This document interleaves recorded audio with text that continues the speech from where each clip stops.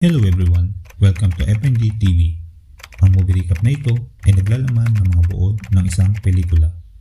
Ang bawat video ay maaaring may mga masiselang paksa, karahasan, horror o ano paman.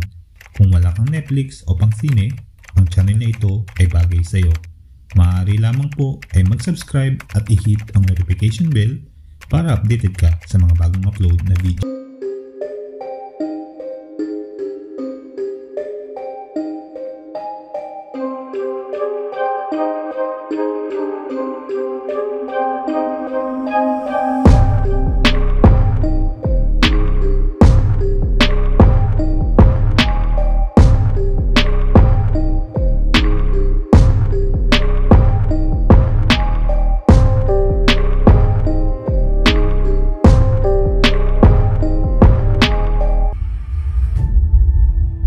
Episode 1 ng All of Us Are Dead ay nagsimula sa isang batang tinatawag na Jinsu na binubuli sa paaralan. Kasabay ng pagbuhos ng ulan at sa ilalim ng neon sign of a cross, tumalikod si Jinsu at tinalunan ng isa sa mga bullying estudyante, na naging dahilan upang siya ay mahulog mula sa rooftop at nagpatama-tama sa signage. Pagkatapos ng insidente, siya ay buhay pa at dinala sa ospital na may malubhang pinsala. Wala siya sa kanyang sarili, at ang kanyang ama, si Bayong Chan, ay nagpakita at napansin siyang umuungol at may kakaibang pag-uugali. Dahil sa agresibong pag-uugali, tinanggal nito ang mga aparato na nakakabit sa kanyang katawan. Sinubukan ni Bayong Chan na pakalmayin ang anak, subalit mukhang huli na ang lahat. Hawak ang isang Biblia, humingi siya ng paumanhon bago patayin ang kanyang anak subalit kulang pa ito at buhay pa siya. Sa labas ng ospital, makikitang may hinihilang itim na luggage si Bayon Chan at ang laman nito ay ang kanyang anak na si Jinso. Sa Hyosan High School, abala ang mga estudyante sa pagsasaayos ng kanilang paaralan. Ang guro at estudyante ay busy sa kanilang mga gawain, mula sa hallway, school laboratory, hanggang sa broadcasting room, at maging sa labas ng paaralan. Si Bayon Chan ay isang scientist at substitute teacher sa Hyosan High School, Ginawa niya ang Jonas virus sa pag-aakalang makakatulong ito sa kanyang anak upang maging malakas at may laban sa mga nangbubuli dito. Partikular naman sa Science Lab, kung saan naroon ang pangkat ng mga estudyante. Malaunan ay naiwang ang isa sa kanilang kasamahan. Nang bumangon ito napansin niya na may kakaibang bagay sa isang hola. Kaya siya ay nagkaroon ng interest at nilapitan ito. Tinanggal niya ang takip na kung saan nakakulong ang isang kulay puting daga. Nang makita ito ng estudyante, labis ang kanyang tuwa. Isinuot niya ang kanyang daliri sa isa sa mga butas ng kulungan.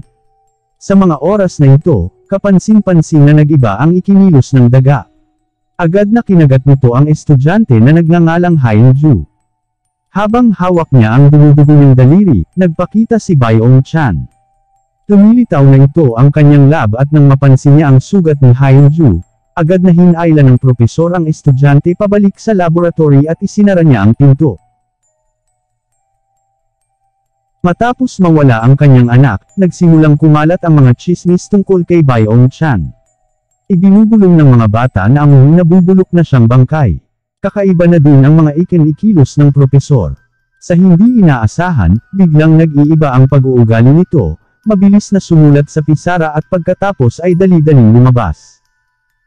Maging ang mga estudyante ay nagugulat sa ikinikilos ng kanilang guro. Mula naman sa labas ng paaralan ay ang estudyanteng. Si Onjo ay isang matalino, optimistikong bata subalit ang kanyang ama ay walang kakayahan para siya ay maging magaling na bata sa paaralan. Mula sa Hyosan High School, ay abala ang security guard sa pag-iikot sa paaralan. Sa pagkakataong ito ay hindi niya napansin si Hyun Jin na nakatali at may takip ang bibig mula sa science laboratory. Panibagong araw para kay Onju at sa ama nito. Ang kanyang ama ay isang paramedic at nakikita ang mga pinsalang nagbabanta sa buhay araw-araw. Ayon sa ama ni Onju, nalalapit na ang kanilang exam, at nais nito na wag stressin ang sarili, at hindi naman ito kaya na makakuha ng mataas na grado. Ang isa sa kanyang matalik na kaibigan ay si Chang San, at malinaw na gusto siya nito pero iba ang turing ni Onjo kay Chang San. Upang may tago ang kanyang nararamdaman para kay Onju, ay palagi niya itong inaasar. Si Guinam, siya ang lalaking bumubog kay Jin Soo sa simula ng episode. Ibinaling niya ang kanyang atensyon sa ilang iba pang mga estudyante, kabilang si Yoonji, na pinilit niyang pinaghubad, at si Chian Soo, na pinilit kuhanan ng video si Yoonji. Nagalit ang mga bully sa dalawa sa kadahilan ng si Guinam at ang pangkat nito ang itinurong may kinalaman sa pagkawala ni Jin Soo. Mula naman sa lugar kung nasaan ang mga bully, ay dumating naman si Sojok. Si Sojok ay isang atleta at walang takot na estudyante. Sinundan ni Sojok si Guinam para iligtas si Hyunji at ang kaibigan nito. Subalit nang paalis na sila ay pinigilan sila ng mga ito, tinakot si Hyunji na ay zazend ang video sa ina kapag ito ay umalis. Kaya napilitan ng dalawa na hindi sumama at manatili na lamang sa lugar kung nasaan ang mga bully. Sa kasamaang palad, mas lumalala ang mga bagay para kay Yoonji, dahil mas lalo siyang pinagbalingan ng atensyon ni Guinam. Habang nasa loob ng klase, isinulat ng buling si Guinam sa kanyang likod at t-shirt ang salitang, I'm Joe Sexy. Mula sa Science Laboratory, lumabas si Hyun-ju kung saan siya itinago at itinali ni Byong Chan. Pagkatapos makawala sa pagkakatali ay dali-daling bumalik sa kanyang classroom na kung saan nagtuturo ang kanyang guro sa Ingles na si Mrs. Park. Malinaw na siya ay infected na ng virus na nakuha niya sa kagat ng daga. Namumula ang mga mata at duguan ang ilong. Walang kamalay-malay ang kayang guro at mga kaklase sa totoong nangyayari. Binanggit din ang kanyang mga kamag-aral na parang bulok na bangkay din ang amoy ni Hyun-ju.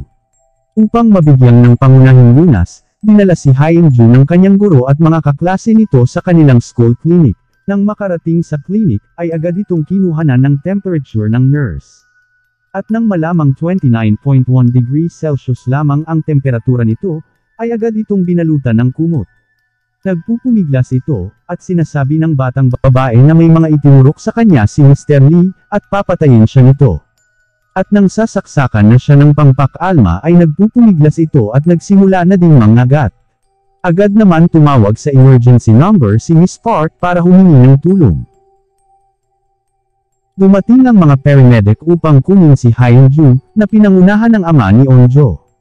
Nagpaalam si Onjo sa kanyang ama, na posibleng sa huling pagkakataon. Wala si Hyun-ju sa kanyang sarili at dinala siya sa lungsod. Sa kasamaang palad, nang malaman ni Byong Chan na wala na si Hyun-ju, nagulat siya at hinimok silang ilagay si Hyun-ju sa quarantine. Dahil sa pagbukot niya sa estudyante, nilapitan siya ng ilang mga pulis at inaresto. Sa kabilang banda, habang abala ang lahat, ang school nurse ay nakaramdam ng hindi maganda. Nang tignan niya ito, nakita niya na may kagat siya sa kanyang isang braso. Siya pala ay nakagat ni Yoonju nang hindi niya namamalayan nang tinurukan niya ito. Nang kanyang lilinisin ang kagat ng bata, ay biglang nagalit ang kanyang mga ugat. Agad siyang tumingin sa salamin, nakita niya na mabilis na namula ang kanyang mga mata, Kasunod nito ay dumugo na din ang kanyang ilong kasabay ang panginginig ng katawan nito. Habang naglalakad ang dalawang buling lalaki, napansin nito ang school nurse na nakatalikod at may kakaibang ikinikilos. Agad naman kinuha ng isa sa mga bully ang cellphone nito at agad na kinuhanan ng video ang nurse. Sa pagharap ng school nurse ay agad silang sinugod nito. Nakailag ang dalawa kaya ang babae ay tumama sa pader at nabuwal. Ilang sandali lamang, ay bumangon ito, at sinugod ang isa sa mga bully at kinagat sa kabilang pisngi. Pagkatapos nito ay nabuwal ang lalaki sa sahig, at ang schoolers ay nanghabol pa ng ibang mga estudyante. Ilang sandali lamang, ay naging zombie na ang bullying lalaki, bumangon ito at sinugod ang mga estudyante sa kalapit na classroom. Mula naman sa rooftop ng paaralan ay si Hyunji. Gusto niyang makatakas sa kanyang buhay na impyerno, subalit pinigilan siya ng kanyang kaibigan. Sa mga sandaling buo na ang kanyang loob at wakasan ang kanyang buhay, marami ang nalaglag na estudyante mula sa bintana at nanggabasag ang mga salamin, kabilang sa mga ito ay ang bullying estudyante. Ilang sandali pa, ay dumami na ang nahawahan at naging komplikado ang lahat ng mga pangyayari. Habang lumalala ang mga pangyayari, ang ibang mga estudyante ay walang kamalay-malay sa papalapit na kapahamakan at kadiliman. Ang ilang estudyante na nasa kantin, na inaakalang normal pa ang lahat at walang senyales ng kaguluhan. Habang nag-uusap sina Chang San at Onju, makikitang biglang nagkagulo ang mga estudyante sa labas ng kantin. Ilang sandali pa, ay narating na ng mga apektadong zombie ang kantin. Mabilis na nagkagulo, nabasag ang salamin, at nangabuwal ang estudyante sa sahig, habang sila ay sumisigaw ng tulong. At sa huli ng episode, makikita na inatake at itinulak si Onju ng isa sa mga zombie. Agad itong nabuwal sa sahig at hindi alam ang gagawin. Ano kaya ang mangyayari kay Onju sa susunod na kabanata?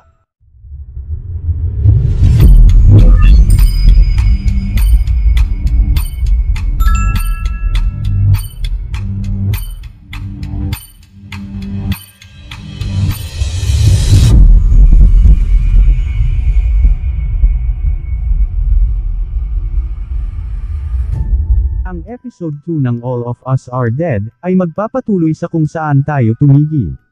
Ang impeksyon ay kumakalat, at ang mga guro ay nagkaroon ng pagtitipon para sa isang emergency na pagpupulong. Sa kalagitnaan ng meeting, may mga magulang na tumawag sa principal upang manga master, ngunit itinatago ng principal ang totoong sitwasyon sa paaralan, dahilan upang magalit si Miss Park. Sinabi ni Miss Park na kailangan mailabas ang mga estudyante mula sa paaralan, ngunit hindi sumang-ayon ang principal, kaya't sila ay pinalabas at inatas ang bubble icon ang mga bata sa kanilang mga classroom. Sa pag-akyat ni Miss Park, sa hagdanan ay nakasalubong niya ang matabang estudyante na naging zombie na din. Agad siyang inatake nito kaya't dali-daling umakyat upang makatakas. Mula naman sa school canteen, sumiklab ang apoy sa kusina, habang si Onjo ay iniligtas ni Chang San mula sa pag-atake ng isang zombie. Pagkatapos makatakas sa zombie, agad silang umakyat sa lamesa at pumunta sa bintana, upang makalabas ng kantin. Si Guinam naman, ay inatake ng isang zombie, agad siyang nakakuha ng tinidor, at pinagsasaksak ito sa leeg, upang siya ay makaligtas. Iniiiwas ni Guinam ang kanyang sarili laban sa mga estudyante na infected na ng virus, kahit na malinaw na siya ay takot din gaya ng iba. Nagmadali siyang pumunta sa kusina at nagtago sa ilalim ng mesa, kasama ang ilan pang mga bata. Samantala, nagawang makalabas ni Chang San at Onjo mula sa kantin. Agad silang umakyat mula sa truck na bumangga, upang makapasok sa itaas ng kanilang paaralan. Subalit nang magawa nilang makapasok, sumalubong sa kanila ang napakaraming zombie. Mabilis na inatake ng zombie si Onju. Muli ay iniligtas na naman ni Chang San si Onjo, mula sa pag-atake ng isang zombie. Subalit, makalipas ang ilang sandali, siya naman ang inatake nito. Agad naman nakakita ng fire extinguisher si Oju at agad niya itong in-spray sa zombie na umatake kay Changsan at nakatakas sila.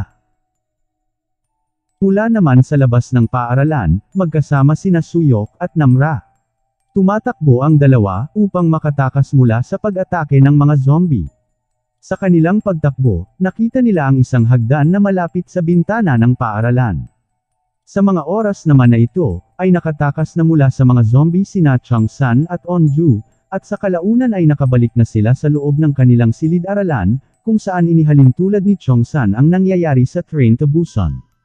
Inaya ni Chong San ang kanyang kaklase, upang ipakita ang nangyayari sa labas. Subalit, biglang lumitaw si Suyok mula sa bintana. Si Namra naman, ay kasalukuyan pang umakyat sa hagdan, nang biglang atakihin ito ng zombie. Subalit dagli-dagli itong nakapanap mula sa hagdan, patungo sa classroom. Tigtas na nakapasok ang dalawa sa silid-aralan. Samantala, ay nakarating na si Hyunju sa ospital, at agad itong sinalubong ng mga doktor. At mula naman sa station, ay tinanong ang isang taong nakakaalam kung ano ang nangyayari at ito nga ay si Byong Chan. Doon sa istasyon ay nag-interrogate siya sa kanyang nalalaman. Si Jae, ang detective, ay naghinala na siya rin ang pumatay kay Jin So at si Byong Chan ang nasa likod ng lahat. Tinanong siya ng detective kung ano talaga ang totoong nangyari kay Jin Soo. At ipinakita ang katotohanan sa kanyang video recording na sinasabi niyang namatay ang kanyang anak, habang inihahalin tulad ito sa isang pusa at daga sa pangbabuling sinapit ng anak. Subalit sa sobrang takot ng daga, ay inatake nito ang pusa, at ito ay dahil sa biglaang pagtaas ng testosterone. Sa madaling salita, kinuha niya ang testosterone at ginamit iyon bilang isang paraan ng paglikha ng rage virus. At bagamat nagsusumikap pa rin siya sa pagperpekto ng serum, Ang pagkagat kay Hyunju ay mahalagang malaman bilang catalyst para sa lahat ng nangyari. Ipinakita si Hyunju na ipinapasok na sa MRI, subalit biglang naging kakaiba ang ikinilos nito. Biglang nagwala, at bumaluktot ang katawan. Nilapitan ito ng babaeng MRI technologist at bigla niya itong kinagat at inatake, hanggang sa makalabas ng MRI room. Si Hyunju ay gumapang at nang habol pa ng ibang pasyente sa ospital. At sa may silid paaralan, ay makikita ang lahat na busy sa paghahanap ng cellphone, mula sa mga gamit ng kanilang mga kamag-aral. At nang makakita ay agad na tumawag si Chang San sa emergency hotlines upang humingi ng tulong. Ngunit hindi naniwala ang mga pulis sa pag-atake ng mga zombie, at inisip na isang prank call lang ang lahat.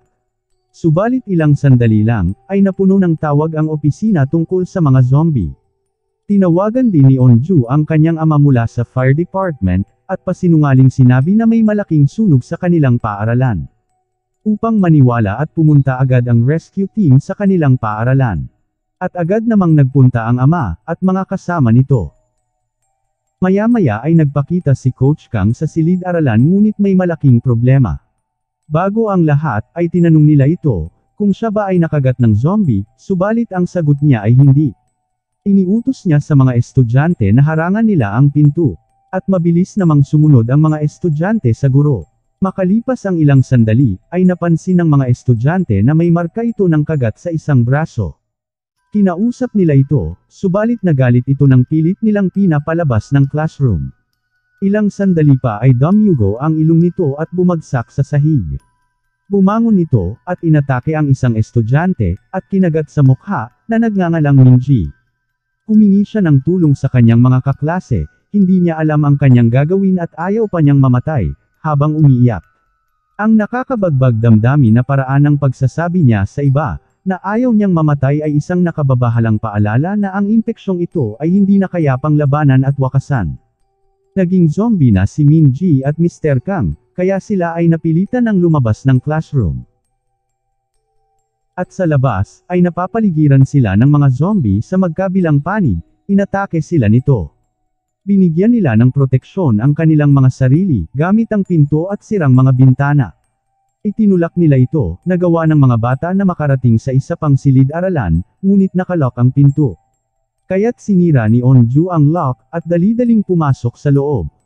Sa kasamaang palad, nawala ang cellphone ni Onjo sa labas.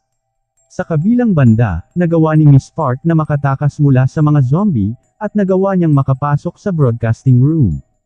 Hinikayat ni Miss Park ang mga estudyante, na umalis at lumabas ng paaralan. Ang problema, ay ang ingay ay talagang umaakit sa lahat ng mga zombie sa bakuran upang magtungo sa loob ng paaralan. Sinusubukan niyang manatiling positibo, sinasabi sa kanilang lahat na humanap ng ligtas na lugar. Sa pagkakataong ito, ay naging emosyonal ang guro, sa kadahilanang wala siyang magawa para sa kanyang mga estudyante. Humingi ito ng tawad at sinabing maging ligtas ang lahat at sila'y magkikita-kita pang muli. Sa pagkakataong ito, ang impeksyon ay hindi lamang sa high school ngayon. Sa pagkahawa ni Hyunju sa mga nasa ospital, ang departamento ng bumbero at pulisya ay mahalagang nahahati sa iba't ibang lugar upang subukan at makahanap ng solusyon. Kabilang ang ama ni Onjo, na tinawag sa isang gusali ng opisina. Habang ito ay nangyayari, Si Isaac ay gumaganap na matchmaker, na sinasabi kay Onjo na gusto siya ni Chang San. Ngunit hindi naniwala si Onju, at sinabing puro pang-aasar lang ang ginagawa nito sa kanya. Habang sila ay magkausap, hinawakan ni Onju ang kamay ni Isaac, napansin niyang malamig ito. Ilang sandali pa ay dumudugo na ang ilong nito. Siya pala ay nakagat sa binti ng isa sa mga zombie, nang sila ay na-corner nito. Mabilis na naging zombie si Isaac, sa mga oras na ito, nagbago na ang kanyang nakikita. Ilang sandali pa ay inatake na nito si Onju. Mabilis naman siyang naitulak ni Chang San, dahilan upang siya ay mahulog sa bintana, subalit nakakapit ito at hinawakan ni Onju ang kanyang kaibigan. Kung saan ay inalala niya ang kanilang masasayang samahan. Tuluyan nang ang nahulog ang kaibigan niya, at dahil na din sa kagustuhan ni Chang San, upang sila ay maging ligtas. Mula sa hallway ng classroom, ay inabot ni Chang San ang hosepipe gamit ang kamay ng mannequin. Nangangailangan sila ng isang paraan, ginamit ng mga bata ang hosepipe sa labas upang sila ay makababa. Nagsimulang mawala ng pasensya si Nayon, dahil si Giyong Su ay unang bumaba. Papunta ito sa broadcasting station kung saan naroon din si Miss Park. Isa-isa, ang bawat mag-aaral ay tumungo sa sahig sa ibaba. Pero para kay Onjo, dinaig siya ng kalungkutan para sa kanyang kaibigan. Hinihikayat siya ni Chang San na bumaba na ito, dahil na din sa malapit nang makapasok ang mga zombie. Nakalabas na din ng bintana si Sojok, subalit si Chang San ay tila nawala, dahil tila siya ay itinapon sa labas ng bintana ng paparating na grupo ng mga nahawahang zombie. Ang mga pangyayari sa episode na ito ay talaga namang nakakapukaw ng atensyon. Hindi maikakailang tuluyan nang lumalala ang sitwasyon. Ang mag-isip ng paraan, para mabuhay sa ganitong pagkakataon ay hindi madali. Ikaw ano ang gagawin mo kung kabilang ka sa kanila?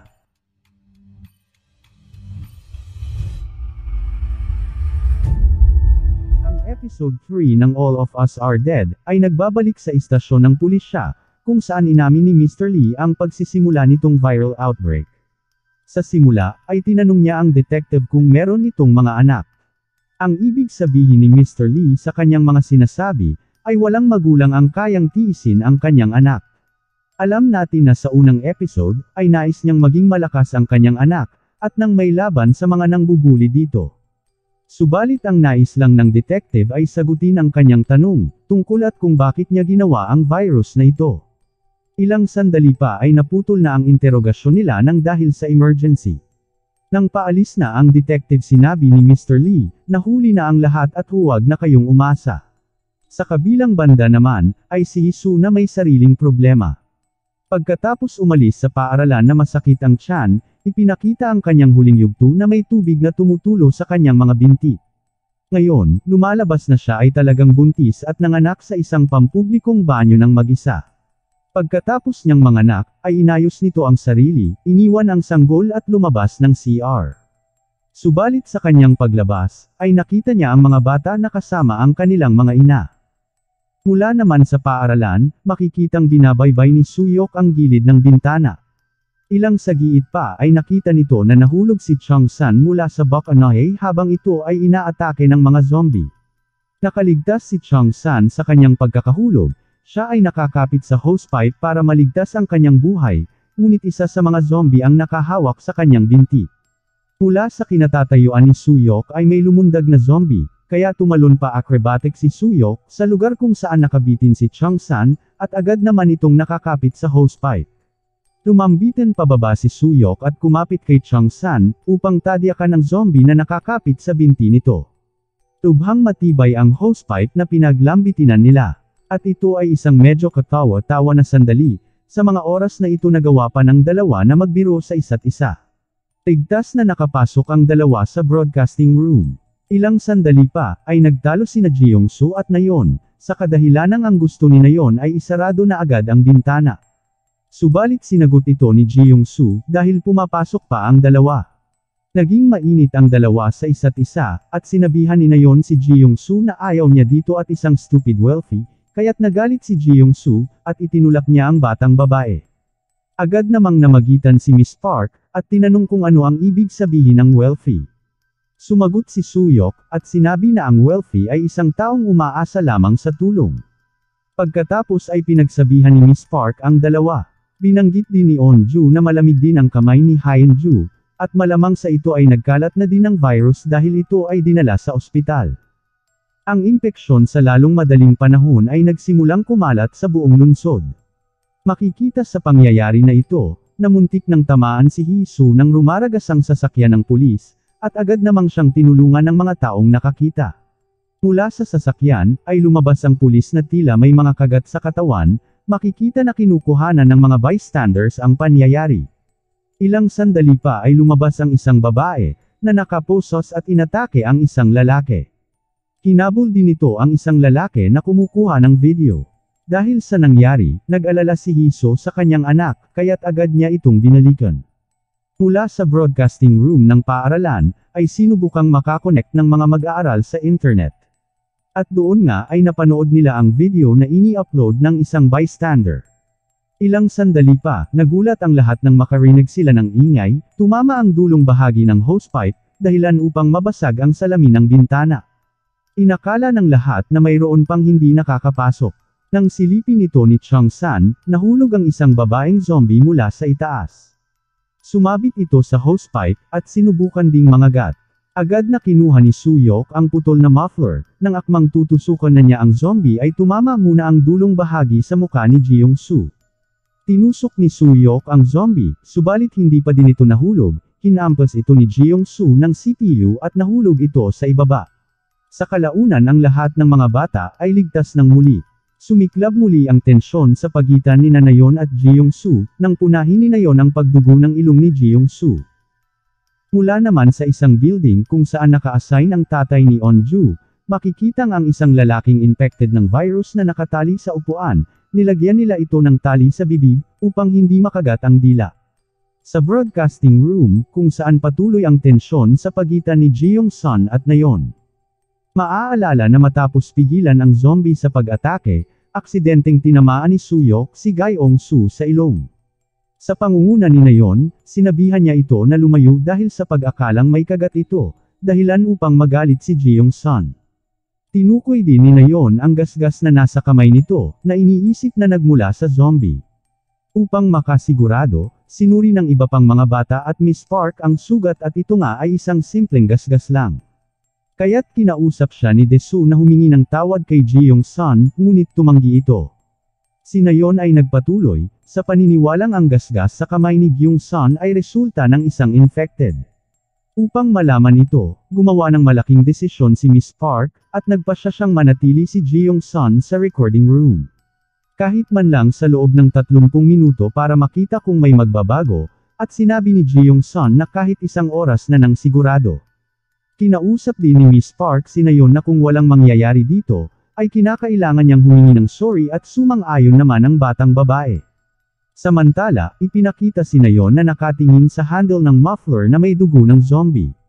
Ano kaya ang nasa isip niya? Sa kabilang banda ay buhay pa rin si Guinam, at ginagamit niya ang bawat bagay na nakikita niya para maligtas ito. Habang nangyayari ito, napansin ng ina ni Chang San ang balita tungkol sa Hyosan High School at kinuha ang kalapit na motorsiklo at nagmaneho papunta sa paaralan. Samantala, nalaman ng ama ni Onjo ang tungkol sa impeksyon pagkatapos na tawagan sa gusali ng opisina, kung saan ang isa sa mga nahawahan ay nakatali sa isang upuan.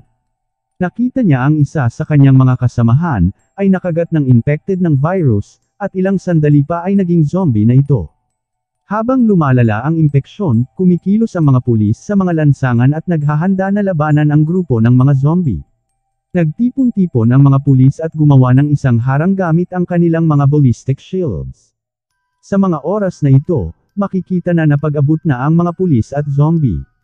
Ilang sandali pa ay dumating ang ina ni Chang San, ngunit agad itong sinalubong ng isa sa mga pulis at kailangan ng i-evacuate. Umalis ito at nagiba ng daan. Nangangahulugan na ang mama ni Chang San ay napipilitang tumahak sa isang mapanganib na daan sa mga eskinita sa likod. At sa hindi inaasahan ay muntik na nitong mabangga si Hisan. Nang mapansin niya ito na nakasuot ng uniform ng Hyosan, ay agad niyang tinanong ito kung kakilala nito si Chang San, subalit nagpaumanhin lang ito. Buhat pa rin ang kanyang sanggol at nagmamadaling umalis.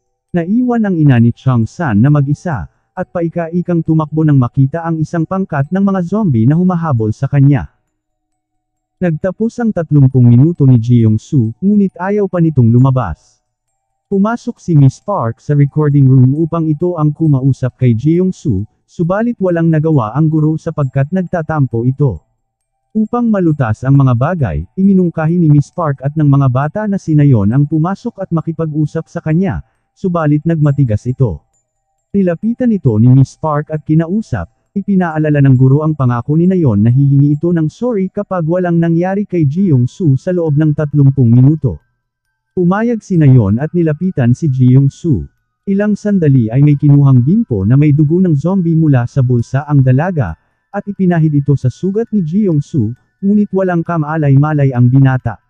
Ilang sandali pa ay magulo din ang naging usapan ng dalawa at sa huli ay hindi din ito nagkasundo. Lumabas ang dalawa mula sa recording room at ito ay nagtatalo, Nagulat ang lahat dahil sa nangyari. Kinagabihan kinausap ni Miss Park si Nayon, ngunit itinanggi nito na wala siyang ginagawang mali para humingi ng tawad. Lalo lang nitong pinalala ang mga bagay-bagay. Si Ji Yong-soo ay nagsimulang magdugo ang ilong at tila tama si Nayon pagkatapos ng lahat. Sa nanginginig na boses, nagpa siya si Ji Yong-soo na umalis sa kanyang sariling kagustuhan at gawin ang tama. Bago siya umalis, nakaranas si Ji Yong-soo ng ilang nakakatakot na mga pangitain at naging zombie na ito. Nagawa ni Chang San na kunin ang atensyon ni Ji Yong-soo sa pamamagitan ng pagsipol ng kanilang paboritong kanta. Nang aatakihin siya nito, umilag siya at kumapit sa hosepipe. Si Ji Yong-soo ay tuluyan nang nahulog at sumama sa iba pang mga zombie. Si Hee-san ay humarap sa pinakamasamang pangyayari. Siya ay nakagat ng infected at ilang sandali lang ay magiging zombie na din. Dahil sa kagustuhang protektahan ang kanyang anak, itinali niya ang kanyang sarili sa pintuan, upang subukang pigilan ang mga zombie na lumapit sa sanggol at pigilan ang kanyang sarili sa paggawa ng isang bagay na kakilakilabot. Sinabi ni Namra na nakita niya si Nayon, pinunasan talaga nito ang dugo mula sa handle ng muffler na ginamit kanina upang palayasin ang zombie. Ngunit tumanggi ito, kaya't pinilit ni Namra na ilabas ang bimpo na ginamit ni Nayon mula sa bulsa nito. Nang ayaw ibigay ay sinampal ito ni Namra. Ilang sandali ay ibinato nito ang bimpo sa muka ni Namra, pinulot ni Namra ang bimpo at iniaabot niya ito kay Nayon, upang ipahid sa kanyang sugat kung wala talaga siyang kinalaman sa pagiging infected ni Jeong-soo. Nagpanggap ito at nang akmang ipapahid na sa sugat ay pinigilan ito ni Miss Park. Hindi nagtagal ay umamin si Nayon sa lahat. Sa kalaunan ay umalis si Nayon, humihikbi, na sinasabing wala siyang kaibigan. Sa kanyang pagkawala, mahigpit na sinabi ni Miss Park sa iba pang mga bata na huwag nang kitilin muli ang buhay. Sa paggawa nito, ginagawa nitong walang kabuluhan ang buhay. Pagkatapos magsalita, lumabas ito upang subukang iligtas si Nayon. Hawak ang kanyang kamay, nagmamadali silang tumakbo, upang humanap ng ligtas na lugar. Ngunit hindi nagtagal isang helicopter ang nagpakita na maaaring hudyat na kanilang kaligtasan.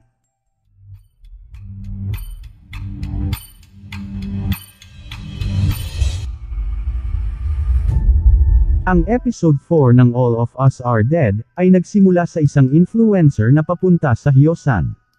Gusto niyang malaman kung ang impeksyon ay talagang malala tulad ng sinasabi ng lahat. Gamit ang isang buong stack ng survival gear, tumungo siya sa gitna ng lungsod upang malaman kung may katotohanan ang kanyang naririnig. Ilang sandali pa ay makikita sa kanyang social media account na tumatakbo na ang influencer upang humanap ng ligtas na lugar. Habang ang helicopter ay rumoronda sa paaralan, ang ina ni Changsan ay nagsusumikap na makatakas sa pangkat ng mga zombie, at nang makita nito na sinundan ng zombie ang ilaw at ingay ng helicopter, ay ginamit niya ang pagkakataon upang siya ay makapasok sa loob ng paaralan. Nang ito ay malapit na sa sport field, sa kasamaang palad, nakilala niya si Jeong Soo na isa ng zombie at tinawag niya ito. Tumingon ito sa kanya at agad siyang inatake, naitulak niya ito subalit hindi sapat ang kanyang lakas upang makatakas. Ilang sandali pa ay kinagat na siya ni Jeong Soo at umatake na din ang iba pang mga zombie. Wala na itong nagawa pa kundi ang banggitin na lang ang pangalan ni Chang San sa huling pagkakataon. Mula sa paaralan ay makikita si Chang San na nakatayo sa bintana at kausap si Onju, walang kamalay-malay ang binata na nasa loob na ng paaralan ang ina, at inaatake na ng mga zombie.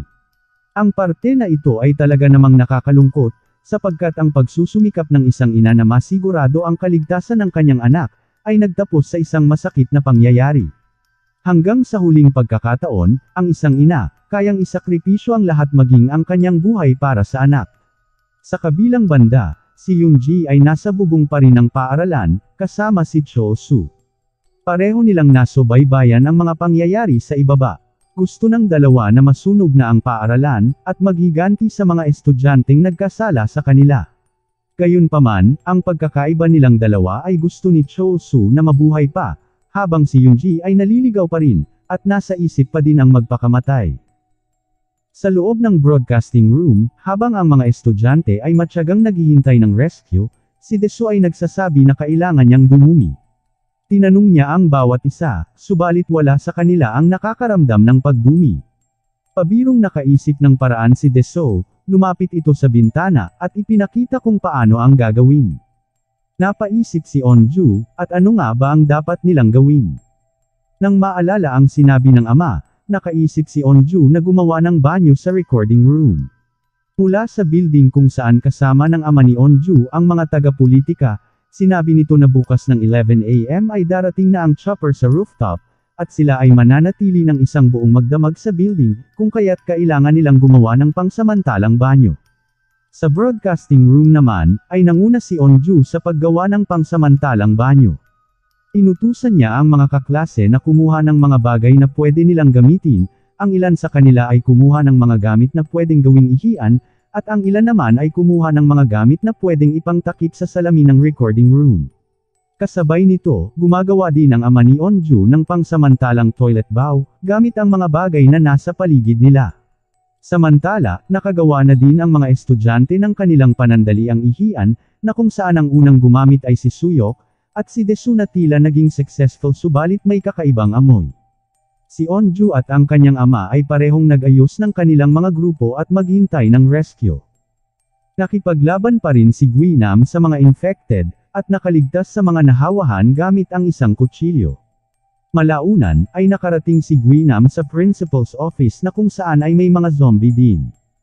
Pinatay niya ang mga ito gamit ang kutsilyo, at makikita ang principal na nagtatago sa ilalim ng lamesa nito. Mula naman sa banyo ng paaralan, isa pang grupo ng mga estudyante ang nakaligtas at nagtatago sa banyo ng mga babae. Makikita ang mga bagay na nagsisimula ng mag-away si Mijin at Hari, ang nais ni Mijin ay lumabas ng gabi, subalit ayaw ni Hari. Ipinakita din ang influencer mula sa palaruan ng mga bata, ang inaakalang ligtas na lugar ay mapanganib din pala. Dahil maya-maya pa ay tumatakbo na ito at hinahabol na ng mga batang zombie. Sa istasyon ng pulisya, si Mr. Lee ay ganap na walang pakialam sa nangyayari sa labas. Nakikita niya ito bilang isang tagumpay sa kanyang ninanais na ang mahina ay lumalaban sa malakas. Galit ang detective na may paninisi kay Mr. Lee, na kung bakit niya ginawa ito. Sumagot si Mr. Lee at sinabi ang tungkol sa kanyang anak. Alam na niya na ang kanyang anak ay binubuli ngunit ang nakakasakit na paraan ng pagharap dito ng paaralan, na sinasabing ito ay naglolokohan lamang. Ipinakita sa parte na ito ang mga pangbubuling ginawa kay Jinsu, dahil sa mga naranasan ng anak sa paaralan, ninais nitong magpakamatay na lang, subalit hindi ito nagtagumpay. Ito ang dahilan kaya nilikha niya ang virus at upang hindi na nito maisipan pang magpakamatay. Ginawa ni Mr. Lee ang matapang na desisyon, na mahawahan ang kanyang sariling anak, sa pag-asang matulungan siyang lumaban. Naging desperado si Mr. Lee sa kanyang ginawa, subalit para sa lahat, ito ay isang malaking pagkakamali, at isang makasariling desisyon. Malapit nang matapos ang panayam, nang kumalat ang impeksyon ng zombie sa istasyon ng pulisya. Nilabanan sila ni J.X. sa abot ng kanyang makakaya ngunit hindi sapat na mag-isa lang siya para makatakas sa mga zombie. Iniligtas ni Mr. Lee ang buhay ng detective, hinayaan si J.X. na makatakas at sinabi dito na ang solusyon ay nasa kanyang laptop, na maaaring naglalaman ng mahahalagang pahiwatig, upang matigil ang impeksyong ito. Naging zombie na din si Mr. Lee, subalit hindi siya katulad ng ibang mga nahawahan. Siya ay tila mas masigla, at nakakalakad ng mahinahon at diretso sa pasilyo.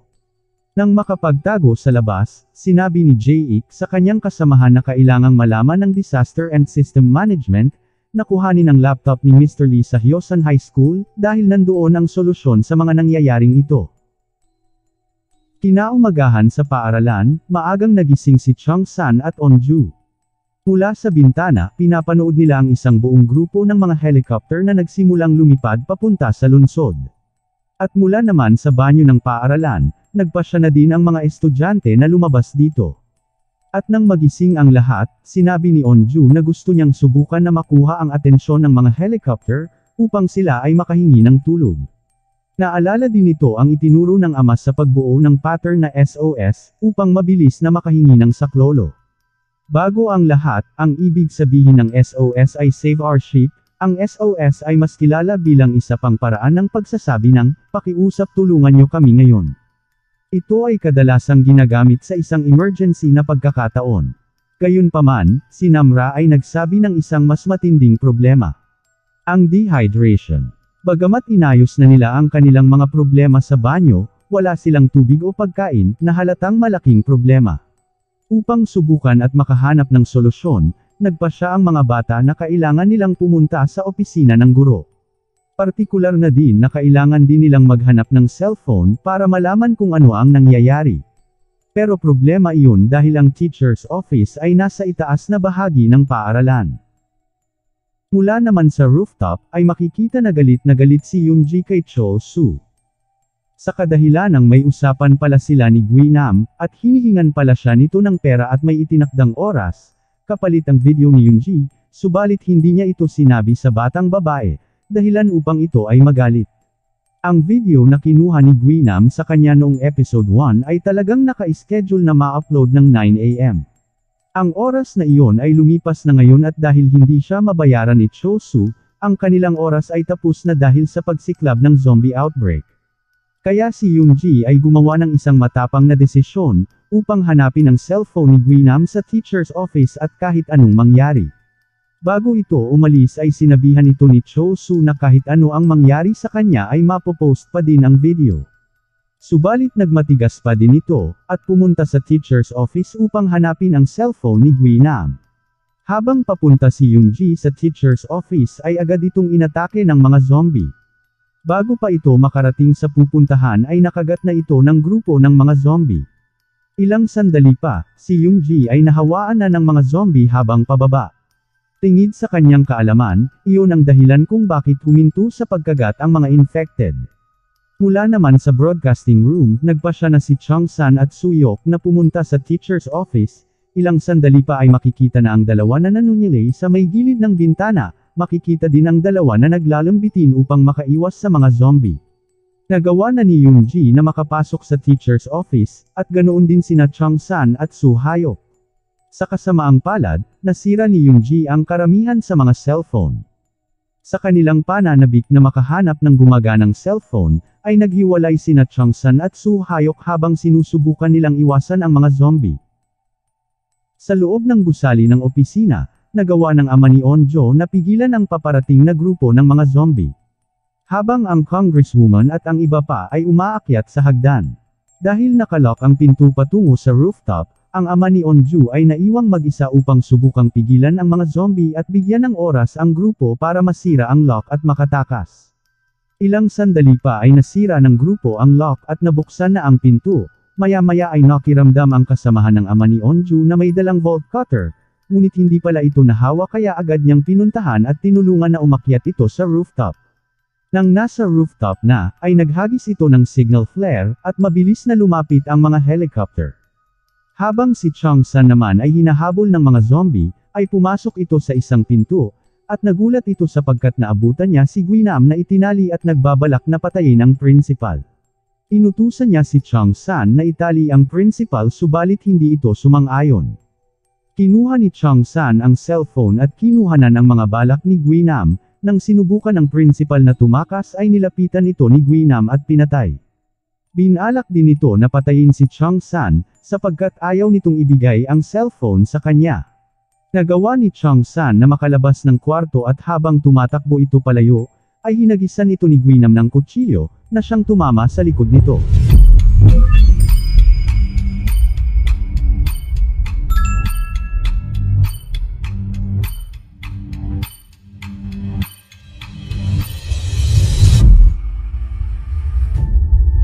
Nagsimula ang episode 5 ng All of Us Are Dead, sa hallway ng paaralan, nang umalis ang isang grupo ng mga estudyante mula sa bathroom. Makikita si Hari na gamit ang kanyang palaso, ay asintado nitong pinapana ang mga zombie.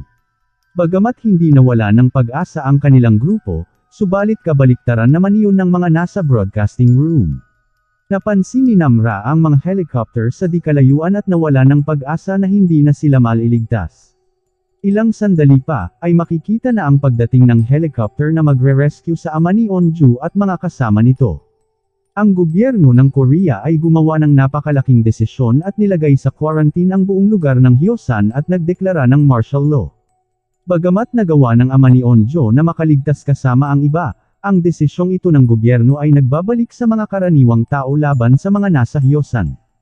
Makikita sa mga sandaling ito, ang mga tao na desperado na subukan na makatakas, ngunit ang mga nasa labas ay naging makasarili at sinimulan silang pagbabatuhin ng mga itlog at magsagawa ng mga protesta, laban sa mga mamamayan ng Hyosan. Samantala, nagawa na ni Soyok na makabalik sa broadcasting room na mag-isa, Kasabay nito ay nagawa naman ni Chang San na makaligtas mula sa kutsilyo ni Guinam. Nang mga oras na iyon, ang hawakan ng kutsilyo ang tumama sa likod ni Chang San, at agad siyang pumunta sa silid aklatan upang makatakas. Sa kasamaang palad, si Guinam ay hindi kalayuan sa kanyang likuran. Pagpasok sa library, ay nakita niya ang isang estudyante na nasa itaas ng bookshelf, at agad niya itong pinuntahan. Nang makalapit si Chang San, ay agad itong nilaglag ng estudyante, sa pag-aakalang ito ay may kagat.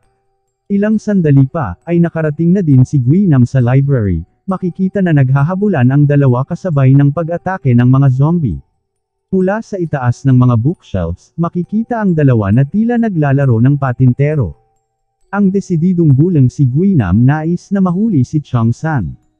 Sa huling bahagi ng bookshelves ay nag-abot ang dalawa, Makikita sa bahaging ito ang paglalaban nila. Sa mabilis na pagkilos ay nagawa ni Chang San na may hampas kay Guinam ang nakasabit na ilaw sa kisame.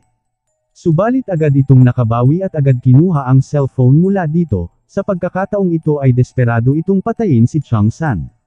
Mabilis namang nabawi ni Chang San ang cellphone, habang sinasakal siya ni Guinam ay buong lakas nitong itinusok ang sulok na bahagi ng cellphone sa mata nito, at nang may pagkakaton ay agad niya itong itinulak sa mga zombie.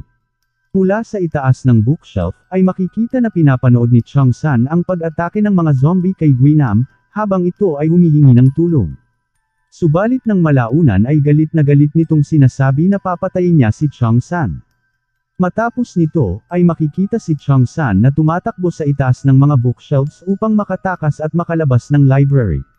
Ilang saglit pa ay nagawa nga nito na makalabas ng library, at agad na pumasok sa isang maliit na butas mula sa pader ng hallway. Dahil ang social media ay napuno ng mga chismis, at maraming masasamang teorya ang naglabasan, ay nagpasya din ang gobyerno na putulin ang lahat ng komunikasyon mula sa Hyosan. Nangako ang pamahalaan na gagamitin ang kanilang mga mapagkukunan upang makatipid sa abot ng kanilang makakaya. Sa mga sandaling ito, wala nang paraan upang makipag-usap. Habang nasa maliit na cubicle, ang nakuhang cellphone ni Chang San ay nasa 6% na lang ang battery, dahil putol na din ang linya ng komunikasyon, hindi na din ito magawang makatawag. Kaya't ito ay sumigaw ng malakas. Ang grupo sa loob ng broadcasting room ay patuloy pa din nag-aalala kay Chang San. Sa mga oras na ito ay gumawa si Onju ng aksyon. Sa partikular, gagawa sila ng plano, magkasama sina Junyong at Onjo para maghanap ng drone at gamitin yun para hanapin si Chang San. Gamit ang hosepipe, umakyat sila sa itaas na bahagi ng paaralan. Habang ang detective at ang kasama nito ay hinahabol ng mga zombie, narating nito ang restaurant ng nanay ni Chang San. Doon ay nakita nilang nakatali si Hisu at ang sanggol nito na nasa upuan. Nilapitan ni Jake ang sanggol, at nang ito ay makita niyang buhay pa, ay agad niyang inutusan ang kanyang kasamahan upang tumingin ng gatas sa ref. Samantala, ligtas na nakarating si Onju at Junyong sa science lab, agad nilang hinanap ang mga gagamitin sa pagbuo ng drone. Mula naman sa cubicle ay ipinakita ang umiiyak na si Chang San, na kung saan ay naalala niya ang masasayang sandali habang sila ay kumakain ng chicken sa restaurant ng ina. Naalala din ito ang kaibigan ng ito ay maging zombie. Dahil dito, buong lakas na sinipa ang cubicle upang lumabas at dali-daling pumasok sa music room. Mula sa science lab, ay matagumpay na nakabalik sina Onju sa broadcasting room. Agad namang inassemble ni Junyong ang mga bahagi ng drone upang ito ay magamit na. Tagumpay nilang napaggana ang drone, at ito ay sinimulan na nilang paliparin. Gamit ang camera na nakamount dito, nakikita nila kung gaano kalawak ang impeksyon. Sa pag-iikot ng drone, ay hindi nila napansin si Mijin at ang iba pa sa infirmary, na saktong tumalon pababa sa mga dumpsters sa ground floor. Maya-maya pa ay nahanap na nila si Chang San mula sa loob ng music room, sa tuwa ni Soyok ay napayakap ito kay Onju, at napatingin naman si Namra. Nagpa siya ang grupo na dalhin ang drone sa labas ng paaralan, kung saan nakita nila ang mga kotse na nabasag, kabilang ang truck ng tatay ni Jimin. Tumungo sila para mas masusing tingnan kung saan nahawa ang kanyang mga magulang. Ang drone ay tuluyang nawalan ng baterya at bumagsak sa sahig. Samantala, dinala ang ama ni Onju at ang iba pang grupo nito sa isang isla na may pribadong kulungan. Ito ay isang quarantine zone na idinisenyo para sa mga nakaligtas sa Hyosan. Pinapanatili sila doon at kailangang isuko ang lahat ng kanilang mga personal na gamit. Kasama na rin dyan ang congresswoman na pinipilit na sumunod sa protocol. Ang oras ng paghihintay ay nasa pagitan ng 12 at 72 oras upang makita, at sa ngayon ay nakakulong sila. Kaya lang, hindi sila nag-iisa. Nandoon din ang iba pang nakaligtas, lahat ay nagsisiksikan na sa isang maliit na quarantine room. Mula naman sa library, buhay pa din si Guinam at hindi ito infected. Bumangon ito at tinignan ang sarili sa salamin. Tinignan din ito ang mga sugat na natamo, mula sa kagat ng mga zombie. Ilang sandali pa ay inatake ito ng mga infected, subalit pamaya-maya pa ay tumigil na din ang mga ito sa pag-atake. Ayon sa pagsasalaysay ni Mr. Lee, lumilitaw na ang mga cell bilang bahagi ng virus na ito ay nag-evolve at nag-mutate sa isang mataas klase ng Jonas virus kung kaya't sila ay naging sensitibo. Kaya si Guinam, siya ay karaniwang nahawaan ngunit isang uri ng super zombie. Sa dumudugong mata at mainit na paghihiganti, nananatili siyang nakatutok sa paghahanap kay Chang San. Sa music room ay dahan-daang lumapit si Chang San, sa isang piano nang mapansin nito na may gumagalaw, daladala ang isang upuan bilang proteksyon. Mula naman sa likod ay may nagbukas ng pintuan at tinitignan ang kilos nito. Sa huling bahagi ay ipinakita si Guinam. Lumabas ito sa hallway ng paaralan, lumalakad kagaya ng sa isang normal na tao. Isinuot din ito ang isang puting jacket at sinabi na siya ang Diyos, sa kadahilan ng isa siyang special zombie na may buhay at pag-iisip. Pagkatapos ay isinigaw nito ng may puot at paghihiganti ang pangalan ni Chang San.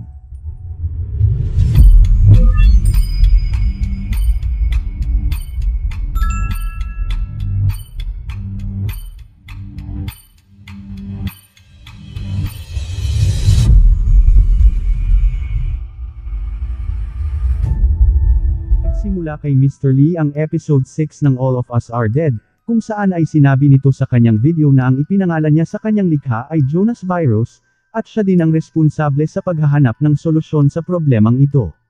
Mula sa rooftop ng paaralan ay nag-iwan si Cho Su ng SOS note para sa sinumang maaaring makapagligtas sa kanya. Gayunpaman, si Yoonji ay nagkataon na buhay pa at sa kabila ng maraming beses na nakagat, Natagpuan ang sarili sa banyo na naghuhugas ng dugo sa kanyang mga kamay. Siya ba ay isa pang nakaligtas sa impeksyon at naging isang super zombie kagaya ni Guinam? Sa labas ng paaralan, ay makikita ang apat na estudyante na nakikipaglaban sa mga zombie para sa kanilang kaligtasan. Makikita na pinulot ni Guinam ang kutsilyo na hinagis niya kanina kay Chang San. Samantala, tahimik ang lahat sa broadcasting room, matapos matunghayan ang mga pangyayari sa labas ng paaralan gamit ang drone. Mula naman sa music room, ay makikita si Chang San, na hawak ang isang upuan at dipensang lumapit sa isang zombie na nakaipit sa isang piano. Mula sa episode 5 ay makikita na may nagbukas ng pintuan mula sa likod ni Chang San, at iyon pala ay sinayon. Kapansin-pansin na hindi nito kasama si Miss Park, gayong magkasama sila sa huling parte ng episode 3. Kasunod ng nangyari sa kanyang mga magulang, ay nais ng magpakamatay ni Jimin. Makikita ito na pinigilan ng kanyang mga kapwa estudyante mula sa pagtalon sa bintana. Hindi siya sigurado kung paano pa magpapatuloy sa kanyang buhay, matapos na maging zombie ang kanyang mga magulang. Nilapitan siya ni Onjo at kinausap siya tungkol sa kanyang sariling mga problema sa pamilya. Pumasok ang dalawa sa recording room, at doon nag-usap sila ng makabuluhan. Ayaw na ni Onjo na mawalan pa ng higit pang mga kaibigan at lubos din itong nalulungkot sa pagkawala ng mga magulang ni Jimin. Habang sila ay nag-uusap, ay aksidenteng napindot ni Jimin ang power button ng microphone. Isang malakas na tunog ang umalingaw sa buong paaralan. Nagbigay ito kay Namre ng ideya habang nagpasya siyang gamitin ang tunog bilang isang distraction para sa mga zombie upang makalabas at makatakas sa kaligtasan patungo kay Changsan at nang makarating na din sila sa rooftop. Matapos mapag-usapan ang kanilang mga plano, agad na sinubukan ni Namre ang music console, kung saan ay nakagawa ito ng isang maingay na tunog. Makikita ang mga zombie pati na din sina Yunji at Guinam na lubhang apektado ng tunog. Ang lahat ay nangyayari ng ayon sa kanilang kagustuhan. Si Deso at Suyok ang unang nagsalita at nakipag-usap kay Changsan, na sinasabi sa kanya na kumapit ng mahigpit at pupuntahan nila ito. Hanggang sa nagsalita na din si Onjo at nakiusap na sa pagkakataong ito ay makinig ito sa kanya na huwag aalis kung saan ito naroroon. Makikita si Changsan na maluha-luha ito habang nakikinig kay Onju. Ilang sandali pa ay pinatugtog na nila ang music at sinimulan ang kanilang mga plano. Sa kasamaang palad ay nakikinig din si Guinam at may hawak ito na kutsilyo, nang gigigil siya na tumakbo at nagtungo sa broadcasting room para mahuli sila ng walang laban at patayin si Changsan. Habang ang lahat ng mga zombie ay kinukuha ang atensyon ng mga speaker sa sulok ng bawat pasilyo, isang hamak na zombie ang nagkataon na na-stock sa dingding at hinahampas ang sarili sa pader, sa labas mismo ng broadcasting room. Inisip ng mga estudyante na sa malamang ito ay isang bingi, kaya't hindi nito sinundan ang tunog. Patuloy nitong hinahampas ang ulo habang dahan-daang gumagapang ang buong grupo. Maingat ang mga ito sa paglalakad upang hindi sila makita o maramdaman ito. Ilang sandali pa, ay aksidenteng nabitawan ni Junyang ang kanyang water can. Dahan-dahan na napalingon ang zombie at agad sila nitong inatake. Pinigilan ito ni Suyok upang mabigyan ng pagkakataong makatakas ang iba. Patuloy ang mga estudyante sa pagtakbo at makikita si Namre na huminto at naghintay kay Suyok. Gayunpaman, narating na ni Guinam ang broadcasting room at napagtanto nito kung ano ang ginagawa ng mga bata, nakita ang kanilang nakasulat na plano sa isang whiteboard at ipinagpatuloy ang kanyang paghabol. Sa kasamaang palad, si Suyok ay patuloy pa ding nakikipaglaban sa zombie, ilang sandali pa ay dumating si Guinam at pinatay ang zombie. Nagtanong ito kay Suyok kung nasaan si Changsan at balak niya itong patayin. Subalit hinikayat lang siya ni Suyok na tigilan na ang kanyang kabaliwan. Ito ang dahilan kung kaya't inatake niya si Suyok at tinangkang patayin. Habang sinasakal ni Guinam si Suyok, sinubukan ni Namre na iligtas ito, ngunit kinagat ito ni Guinam sa braso. Makikita na hawak-hawak ni Guinam ang buhok ni Namre, dahilan upang magalit si Suyok, at buong lakas niyang itinulak si Guinam at ito ay nahulog mula sa bintana. Nagawa ng dalawa na makaligtas at umakyat na ito sa itaas. Sa labas naman ng paaralan ay patuloy pa din ang grupo ni Hari na nakikipaglaban sa mga zombie, upang makapasok sa loob ng isang gusali subalit ito ay nakalock. Nang magawa ng mga ito na mabuksan ang pinto ay natusok naman si Junsang ng kahoy na itinusok nito sa zombie, matapos na sila ay mahulog mula sa hagdan.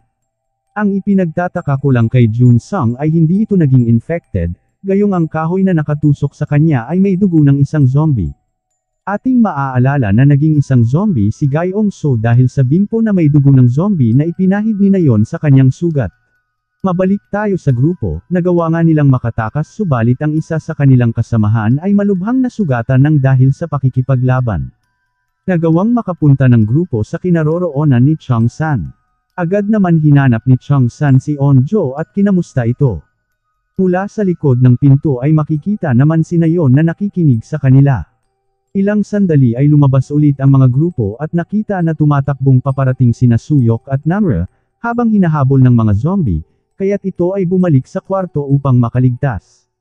Habang nagpapahinga ay agad na napansin ni Hyoring ang kagat sa braso ni Namre kaya't napalayo ang mga ito. Sa labas ng quarantine zone, ang mga bagay ay patuloy na nagiging komplikado. Makikita ang mga tao na nag-uunahan sa banyo at nagiging makasarili sa pagkain. Ang grupo ay pinanatili sa quarantine nang hindi bababa sa apat na linggo. Ang ama ni Onjo, at ng Soju, ay nagsisikap na makahanap ng paraan upang makalabas ng mas maaga, na sa huli ay humantong sa pagsakal ng isa sa mga gwardya at nathumba ang isa pa. Determinado ang tatay ni Onjo na balikan ang kanyang anak at nagpas siyang umalis. Kinuha ang kanilang uniforme para sa kanyang sarili. Nagpanggap ang mga ito bilang gwardya, si Soju ay lumabas kasama si Yusin, nagmasid ito sa labas upang makita kung saan pwede silang tumakas.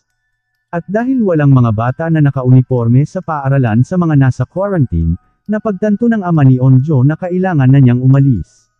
Makikita si Chang San na pinulot ang music stand nang malamang may kagat si Namra, upang protection kung sakaling maging zombie ito. Samantala, ibinalita ni Chang San sa iba ang tungkol sa pagkahawa ni Gui Nam. Sinabi niya sa mga ito na kitang-kita niya kung paano ito kinagat ng mga zombie. Dahil si Gui Nam ay may bahid ng pagiging zombie, hindi nila alam kung ano ang mga epekto para kay Namra ngayong siya ay nakagat nito. Nagpa siya si Suyok na tanggapin ang responsibilidad para kay Namra, piniling tumayo nito sa tabi ni Namra at upang mapigilan ang iba na saktan siya. Hindi nagtagal, lumaki ang tensyon sa pagitan nila ni Chang San. Sinubukan ni Onjo na kausapin si Chang San. Mula sa bintana ay makikita si Namra na nakaupo at sa tabi nito ay nakatayo naman si Suyok. Ilang sandali pa ay nagbago ang ikinilos ni Namra, makikita ito na tila may nag-uudyok na kagatin nito si Suyok. Makikita na ang kabilang mata ni Namra ay namula at tila may makintab na itsura. Ilang sandali pa ay inundayan ito ng palo ni Chang San ngunit agad namang naiharang ni Suyok ang kanyang sarili upang protektahan si Namra. Ngunit sa lalong madaling panahon ay naging maliwanag na ang lahat, na si Namra ay nahawaan. Nilapitan ito ni Onjo at hinawakan ang mga kamay, sinabi ni Onjo na hindi malamig ang mga kamay nito, na hindi katulad ng kanilang mga kaibigan na naging zombie. Ang hindi pagkakaunawaan ay umaalingaw sa buong grupo, at naglabas sila ng kanilang mga saloobin laban sa isa't isa. Upang sugpuin ang anumang pagdududa, itinali ni Suyok ang kanyang kamay kay Namra, at inaako ang buong responsibilidad sa anumang maaaring mangyari sa kanila. Samantala, naghahanda na si Jake at ang kasama nito na lisanin na ang restaurant at dalhin ang sanggol. Ilang saglit pa, lumabas na sina Jake sa tindahan ng manok, subalit nang nakasakay na ito sa motor, ay may isang batang babae ang nagmamadaling lumapit sa kanya, kasunod ang mga gutom na zombie sa likod nito. Kaya agad na bumalik sa loob ang mga ito, nagawa ni Jake na iligtas ang bata, habang itinuturo niya ang kanyang nahawahang ina sa labas, na kinakabog ang mga bintana ng restaurant. Naawa si Jake sa bata at niyakap niya ito. Habang si Suyok at Namra ay nakalayo sa ibang grupo, sinabi ni Desu na isang hambi si Namra, na ang ibig sabihin ay half-zombie. Kasunod nito makikita ang mga bata na gutom at uhaw na ang nararamdaman. Mula naman sa kinalalagyan ni Nayon ay nakaimbak ang 12-12 ng inumin at pagkain, nang akmang bubuksan na nito ang pinto para bigyan ng maiinam ang mga ito, ay narinig nito na sinisisi pa din siya ng mga kaklase sa pagkamatay ni Ji Yong-soo at pagkawala ni Miss Park, kaya't nagbago ang isip nito. Sinubukan din nilang buksan ang pinto ng maalala ni Chang San na pinagdala ng PTA ang mga magulang ng mga pagkain at inumin bago ang competition, subalit hindi nila nagawang buksan ang pinto dahil inilock na ito ni Nayon sa loob. Nagawa ng ama ni Onjo na makalabas mula sa quarantine zone. Sa kaunting tulong mula kay Eugene na nagbigay sa kanya ng tulong, upang makaakyat sa ibabaw ng pader at pagkatapos ay iniwan na niya ito. Gayunpaman, nagpatuloy itong mag-isa at nakasalubong niya ang isa sa mga bantay. Nang babarilan siya nito, umiwas ito sa putok ng baril at pinukpok ng helmet. Mabilis itong tumakbo habang binabaril ng mga militar at sinisikap niyang makaligtas. Bumalik tayo sa broadcasting group, makikita ang bawat isa sa mga bata ay gumagamit ng handheld camera upang magpadala ng mga mensahe para sa kanilang mga magulang, kasama si Desu na kumakanta ng tungkol sa pagkain, si Changsa na sinabi sa kanyang mga magulang na ayos lang siya, at Onjo na nangangako na gagawin ang kanyang makakaya. Habang nagsasalita siya, muling ipinakita ang ama, na hinahabol ng mga gwardya, at ginagawa niyang iwasan ang bawat solong bala upang makatakas. Umaasa si Onju na nasa maayos na kalagayan ang kanyang ama, sinabi din ito na ayos lang kung hindi siya mapuntahan ng ama, ngunit umaasa pa din ito na pupuntahan siya ni Suju upang iligtas. Sa pagkakataong ito ginagawa ng ama ni Onjo ang lahat upang marating ang kinaroroonan ng anak. Muli, sakripisyo na naman ng isang ama ang ipinakita sa mga oras na ito. Nagawa ng ama ni Onjo na makasisid sa ilalim ng tubig, subalit tinamaan ito ng bala. Dahil sa dedikasyon nagpatuloy ito sa paglangoy para sa anak.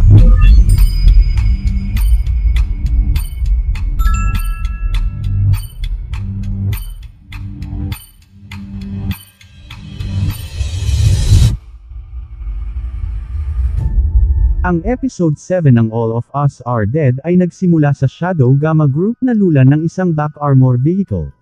Nagpupunta sila sa iba't ibang establishment, pinapatay ang mga nahahawahan at sinusubukang maghanap ng mga nakaligtas.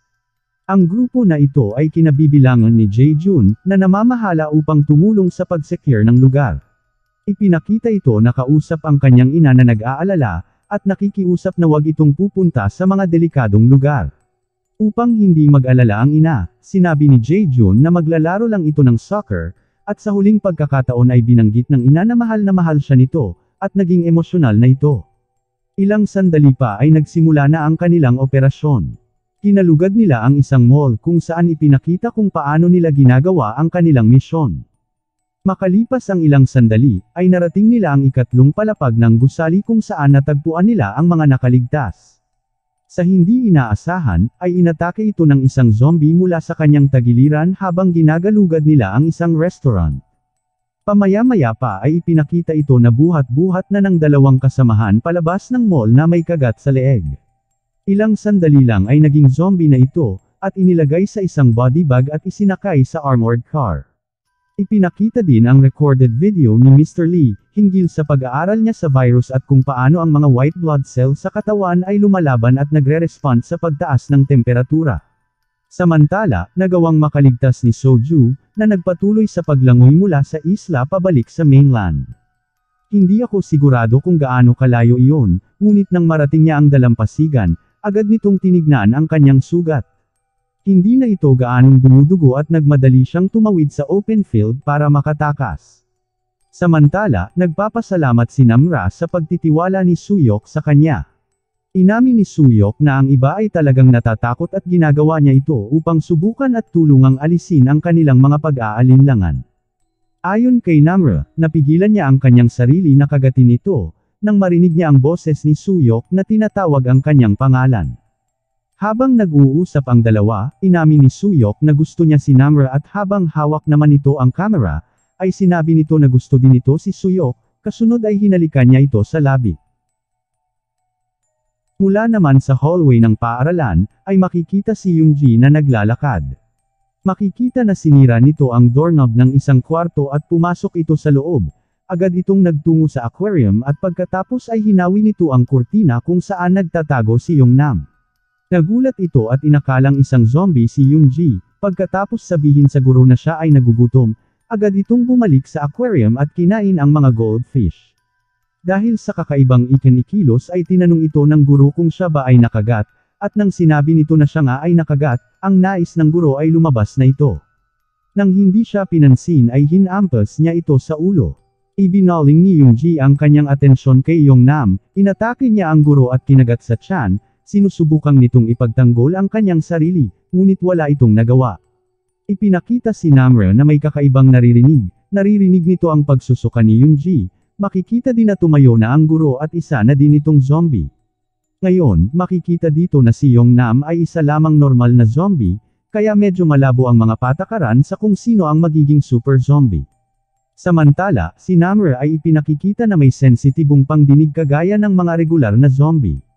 Nakakarinig ito ng mga tunog na hindi naririnig ng mga kasamahan niya, narinig nito maging ang pagutot ni Wuyin at pati ang kumakalam na sikmura ni Desu. Ngayon lubos na nilang naiintindihan kung bakit inaatake ng mga zombie ang mga ingay at tunog na naririnig nito. Mula sa labas ng paaralan, ay makikita si Guinam na naguhugas at naghihilamos ng mukha sa gripo at nakarinig ito ng ingay. Sa labas ng parking lot, nakita ni Guinam ang kanyang kaibigan na si Myung Hwan na buhay pa at nagtatago sa ilalim ng kotse.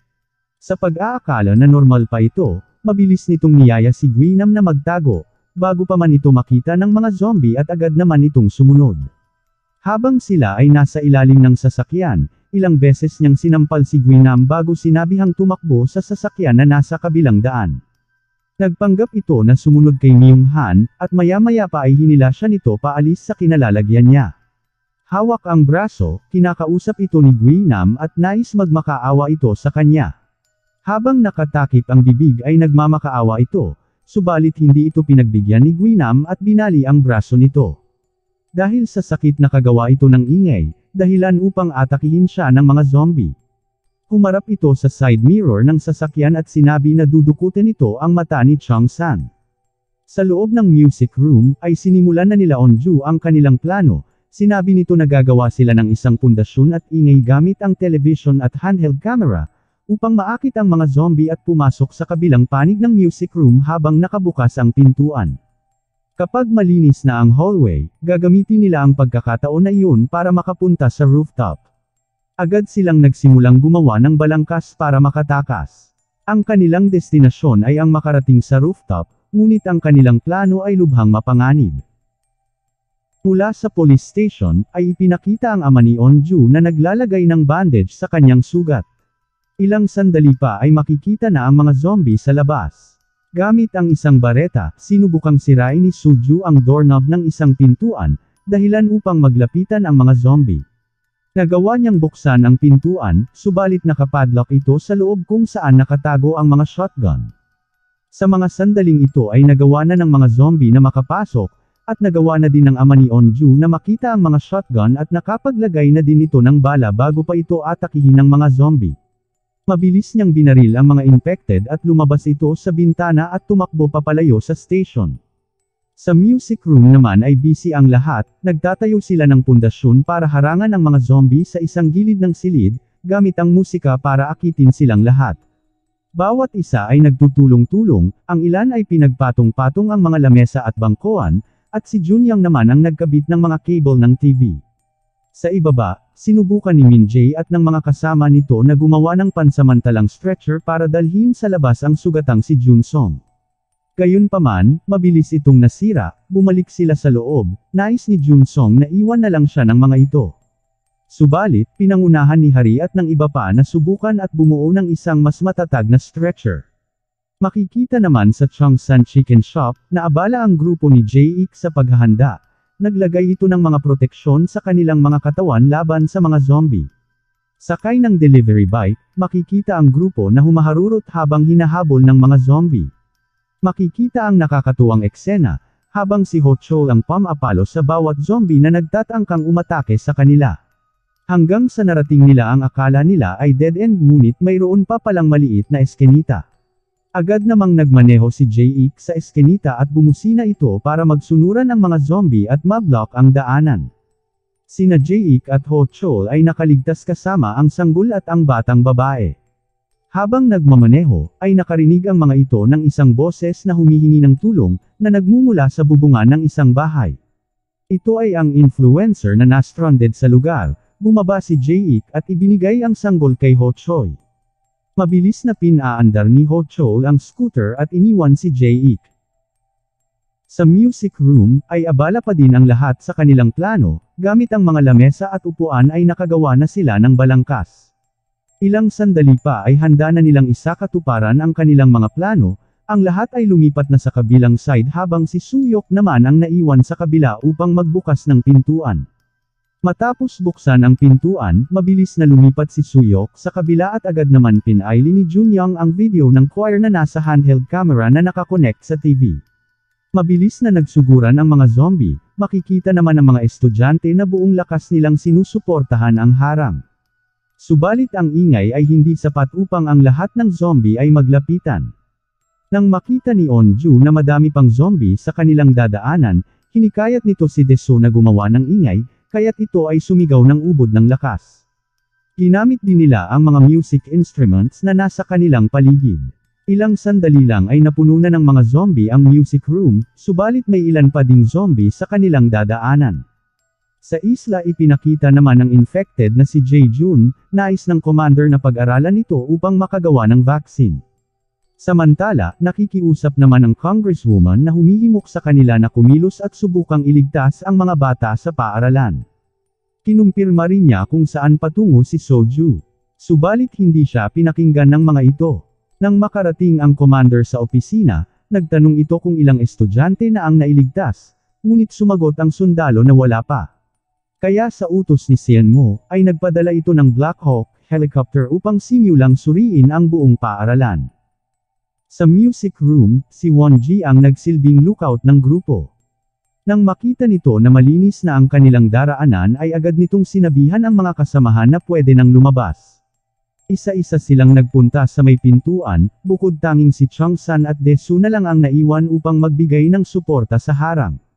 Maya-maya pa ay umalis na si Changsan kasabay nito ay hinatak niya si Desu, at mabilis na tumakbo patungo sa rooftop. Makikita naman si Guinam na nakikipag-unahan sa mga zombie sa paghabol kina Changsan. Sa labas naman ay ipinakita si Yunji na nakatingin sa taas ng paaralan. Makikita din ang helicopter na papalapit na sa eskwelahan. Samantala, patuloy ang grupo sa pagtakbo sa itaas.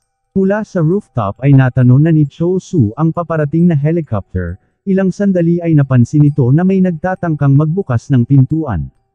Makikita na nakarating na ang grupo sa itaas, subalit nakalok ang pinto papunta sa rooftop. Sinubukan ni Deso na buksan ang pintuan, subalit hindi niya nagawang buksan ito. Sinubukan din ni Chang San na hulaan ang code subalit hindi ito gumana, maging si Junyang ay nagbabaka sakali na may tao kaya't kinatok niya ito at nakiusap na buksan ang pintuan. Ginawa na nila ang lahat ng kanilang makakaya subalit sadyang matibay ang lock, habang ginagawa nila ang lahat ay makikita naman si Cho Su na nakatingin lang sa pintuan. Sinabi ni Namre kay Suyok na papalapit na ang mga zombie, subalit si Choi Su ay nagmatigas pa din, dahil naalala nito ang sinabi ni Yunji tungkol sa mga balak na paghihiganti.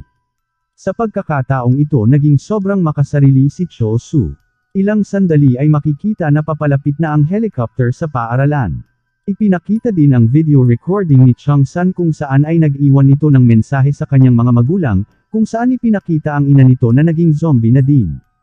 Sa pagkakataong ito, kabang-abang ang mga magiging pangyayari sa oras na magkita sina Chang San at ang ina nito. Para magbigyan ng pagkakataon ng iba na buksan ang pintuan ay hinarap ni na Changsan at Suyok ang mga zombie. Makikita na nakikipaglaban na ang mga ito sa mga infected habang ang iba ay sinusubukang buksan ang pintuan. Sa labas ng rooftop ay makikita na nakalapit na ang helicopter sa paaralan. Sa kabilang pintuan naman ay kinuha ni Namra at Onju ang asul na lona at inihagis ito sa mga zombie, upang kahit papaano ay maantala ang pag-akyat ng mga zombie. Sa labas ay makikita na ang mga sundalo na bumaba mula sa helicopter, agad nitong tinanong si Choso kung nasaan ang mga kasama nito, at agad din itong kinuhanan ng temperatura. Sa kabila ng pintuan ay busy pa din ang grupo ni Chang San sa pakikipaglaban sa mga zombie. Hindi nagtagal ay nakarating na si Guinam kung nasaan sila. Bitbit ang isang zombie, tumingin siya kay Chang San at nagbigay ng nakakatakot na ngiti.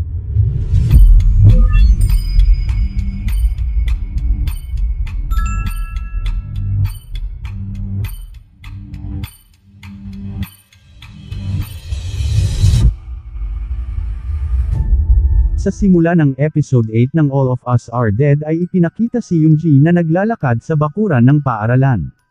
Napansin niyang lahat ng taong nagpahirap sa kanya noon ay isa ng mga zombie. Isa-isa itong ipinakita habang nakakasalubong niya ang mga ito.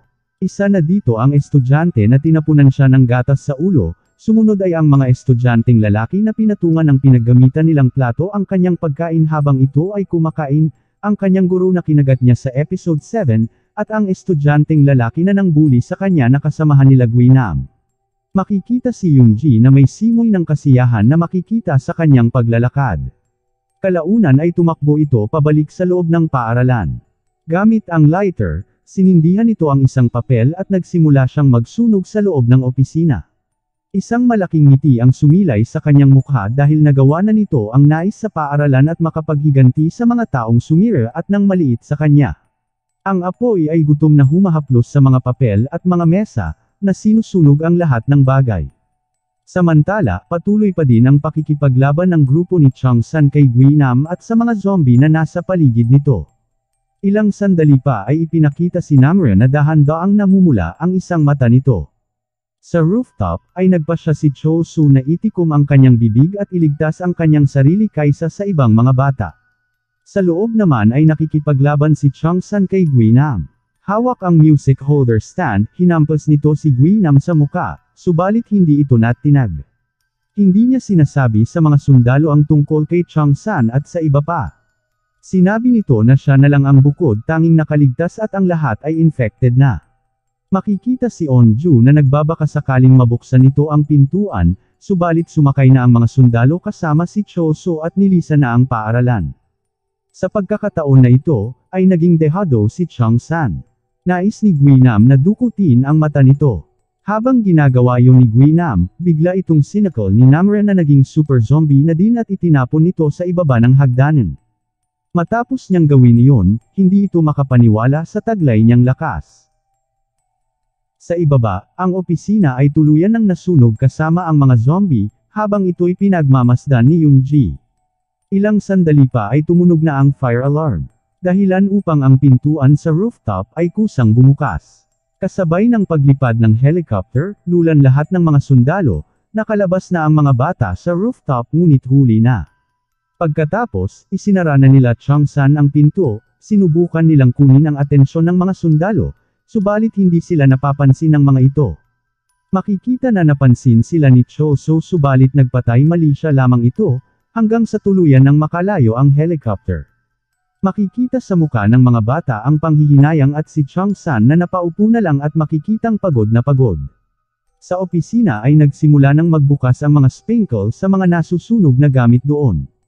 Nag-iiyakan naman ang mga estudyante sa rooftop, sapagkat hindi sila naligtas ng mga sundalo. Ilang sandali pa, ay makikita na may nagpupumilit na magbukas ng pintuan, kaya tumayo si Chang San at pinakiramdaman niya ito. Agad naman naging alerto ang lahat at kumuha si Desu ng isang putol na kahoy.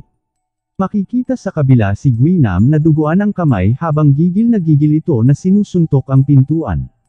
Nang hindi niya nagawang buksan ay umalis na din ito, at iyon ay naramdaman ni Namra at agad niyang sinabi sa mga kasamahan. Samantala, makikita si Yunji na nakalabas na ng paaralan, naglalakad na tila isang normal na estudyante. Nakita nito ang isang bisikleta at nagmaneho ito papalayo.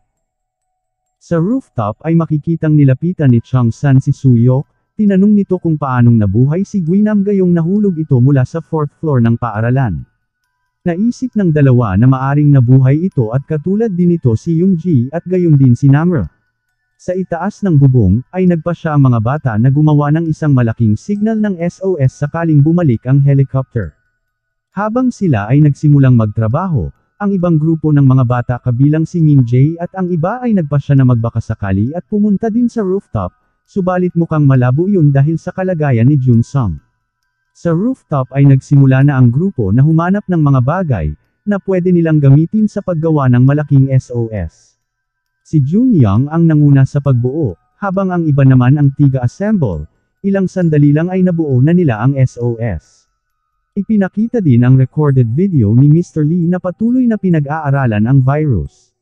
Ayon dito, kapag nag-response na ang mga white blood cells sa pagtaas ng temperatura, ang mga ito ay aatakihin ng mga virus at gagawing kakaibang uri ng virus. Samantala, ipinakita din si Sudju gamit ang isang mapa at gumagawa ng plano kung paano mararating ang paaralan ng anak. Tila may tema ng mga rooftop sa episode na ito, dahil sinusubukan din ni Jake at ng vlogger na akitin ng mga zombie para makaalis sila sa bubong kung saan sila napadpad. Nagpakita si Hocho sakay ang isang minibus at hinihikayat silang dalawa na tumalon sa bubungan nito. Matapos magawa ni Jake na tumalon ay natatakot naman ang vlogger sapagkat may fillet ito. Ilang sandali lang ay nagawa na din itong makatalon, kahit na muntik ng mahulog ay agad naman itong nahawakan ni Jake. Kaya't mabilis silang umalis sa lugar. Sa rooftop, sinubukan ng grupo na gumawa ng apoy. Makikitang nagpapakahirap ang mga ito sa paggawa ng apoy, hanggang sa mapagtanto nila na may lighter pala si Namring ngunit hindi nito sinabi kaagad, ito ay nakakatuwang pangyayari na hindi inaasahan ng mga manunood. Ipinakita naman sina Jake at Hochol na habang nag-uusap ay nakabunggo ito ng taong nagbibisikleta, napatanong si Hochoy kung ito ay isa bang zombie, subalit patanong ding sumagot si Jake na meron bang zombie na nagbibisikleta. Kaya agad niyang ibinigay ang sanggol sa vlogger at tinignan ang nabunggong babae. Nang kanyang tignan, ito pala ay si Yunji, sa hindi kalayuan ay biglang nagpaputok ng baril ang mga sundalo.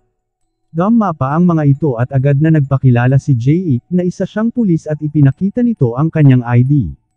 Ipinakita din si Mijin na tinuturuan ni Hari na gumamit ng palaso. Sa rooftop, nakagawa na ng bonfire ang grupo, nakapaikot sila dito, pinakanta nila si Deso at sumabay na din ang mga ito sa pagkanta. Sa mga oras na ito makikita ang mga bata na hindi nawawala ng pag-asa, dahil sa pagkanta ni Desu makikita ang mga ito na nabubuhayan ng loob. Samantala, ipinakita si Guinam na nakarecover na sa mga sugat na natamo niya buhat sa pagsuntok nito sa pintuan. Sa ibaba, si Nayon ay na-stock sa storage room sa halos buong season mula nang umalis ang grupo. Pinulot niya ang video camera, pinanood nito ang recorded video ng buong grupo habang nag-iiwan ang mga ito ng kanilang mga mensahe para sa kanilang mga mahal sa buhay. Matapos mapanood ni Nayon ang recorded video ng mga kaklase, ay napagdesisyonan nito, na kumuha ng maiinom at pagkain at dalhin sa rooftop. Subalit, ilang sandali ay narinig nito na nagsasalita si Chang San at binanggit sa video na patay na si Ji Su. Kasabay nito, ay nakita niya si Ji Su sa sulok na bahagi ng storage room. Dahil dito, ay naalala niya ang kanyang ginawa dito, matapos ay idonato niya ang hawak niyang pagkain at nakukonsensyang umiiyak. Sa rooftop, ang grupo ay nagsimulang mag-usap, tungkol sa kung ano ang kanilang nararamdaman at ang kanilang mga buhay.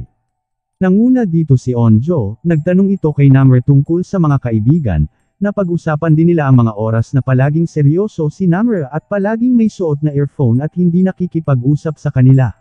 Sumunod ay si Desu, biniro nito ang kaklase na may gusto sa kanya, dahil sa madalas siyang binabara nito sa tuwing nagsasalita siya, umamin din ito na ang kanyang gusto ay ang ate ni Wonji, kaya't tinawag niya itong bayaw. Sa storage room naman, ay ipinakita si Nayon na nakaupo sa isang sulok, naalala nito kung paano siya iniligtas ni Miss Park. Sa mga nakaraang episode, hindi na ipinakita si Miss Park, simula nang lisanin nito ang broadcasting room. Ito pala ay naging isang zombie, nang iligtas nito si Nayon mula sa pag-atake ni Jiyong Su. Nakagat ito sa leeg at mabilis nitong ikinulong si Nayon sa isang silid upang maligtas. Nag-iwan ito ng mga mensahe sa kanya na manatiling buhay at bumalik sa mga kaibigan at humingi ng tawad. Ilang sandali pa, ay unti-unti na itong nagiging zombie kaya't lumakad na ito papalayo sa kinaroroonan ni Nayon. Sa sitwasyon na ito, ay ipinakita ang pagiging isang huwarang guro at pangalawang magulang ni Miss Park sa kanyang mga estudyante. Hindi ito nagkulang at nang hinayang na isakripisyo ang kanyang buhay para kay Nayon, kahit alam niya na nakagawa ito ng malaking pagkakamali.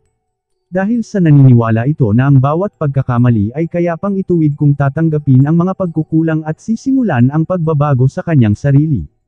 Matapos maalala ang sinabi ni Miss Park, ay pinulot nito ang mga pagkain nasa lapag at handa nang humarap sa kanyang mga kaibigan.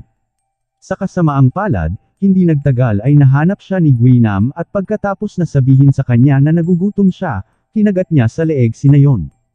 Ngayon, magiging kawili-wiling makita kung siya ay magiging isa pa sa mga super-powered na zombie, tulad ni Namra at Yunji. Sa itaas habang sila ay nag-uusap tungkol sa isa't isa, kabilang sa kanila si Chang San, na nagbukas at nagpahayag ng nararamdaman kay Onjo mula pa noong siya ay anim na taon gulang. Sa pagkakataon na ito ay hindi pa din naniwala si Onjo, subalit pinagdiinan ni Chang San ang kanyang nararamdaman sa dalaga. Umalis si Onjo sa grupo para makakuha ng espasyo, sumenya si Suyok kay Changsan para puntahan si Onjo at kausapin. Makikita si Guinam na sumilip sa bintana, at nagtatangka na itong umakyat sa rooftop habang humahawak sa isang water pipe. Sa itaas naman ay nilapitan ni Changsan si Onjo, matapos mapag-usapan at ilabas ni Changsan ang kanyang nararamdaman at hiniling ni Onjo na gusto muna nito mapag-isa. Kaya't pinagbigyan nito ang hiling ng dalaga. Habang nakaupo si Onjo ay nagawa ni Guinam na makarating sa rooftop. Agad niyang hinawakan si Onjo, sumigaw si Changsan at sumugod para subukang pigilan siya at naalarma din ang mga kasama nito. Binitiwan ni Guinam si Onju at inatake si Changsan, ihinampas niya si Changsan sa lupa at sinimulang itusok ang kanyang hinlalaki sa mata nito.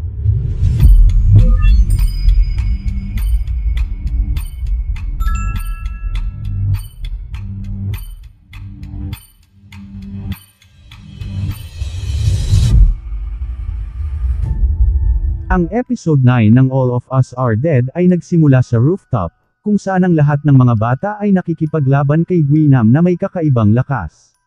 Makikita na habang sa call sa call ni Gwynam si Chang San, ay pilit pa din itong dinudukot ang mata nito. Sinubukan ni Onju na pigilan si Gwynam, subalit mabilis lang itong naitapon ng bully.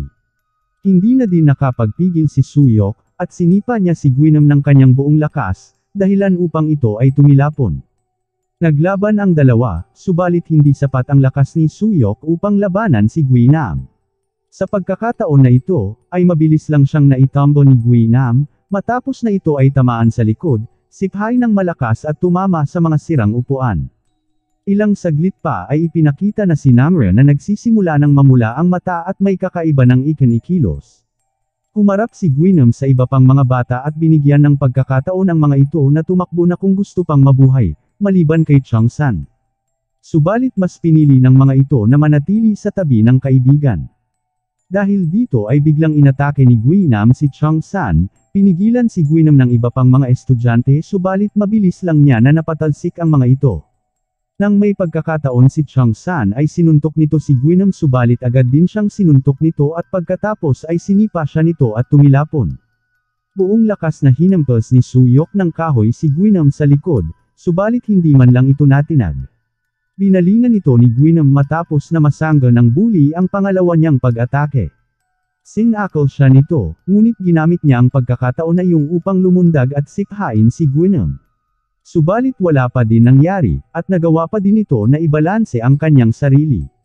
Si Namra ay patuloy sa kanyang pagbabago, habang sinipa naman ni Suyok si Gwynam sa leeg, subalit ibinalibag lamang siya nito. Makikita naman si Namra na isa ng ganap na super zombie. Kinuha nito ang isang kaputol na kahoy at inihampas sa likod ni Gwynam, sinakal ito ni Gwynam at sinampal ng malakas kaya ito ay bumagsak sa sahig. Habang si Gwynam ay nakatalikod, pinulot ulit ni Namra ang isang kaputol na kahoy at saka niya ito sinaksak sa hita.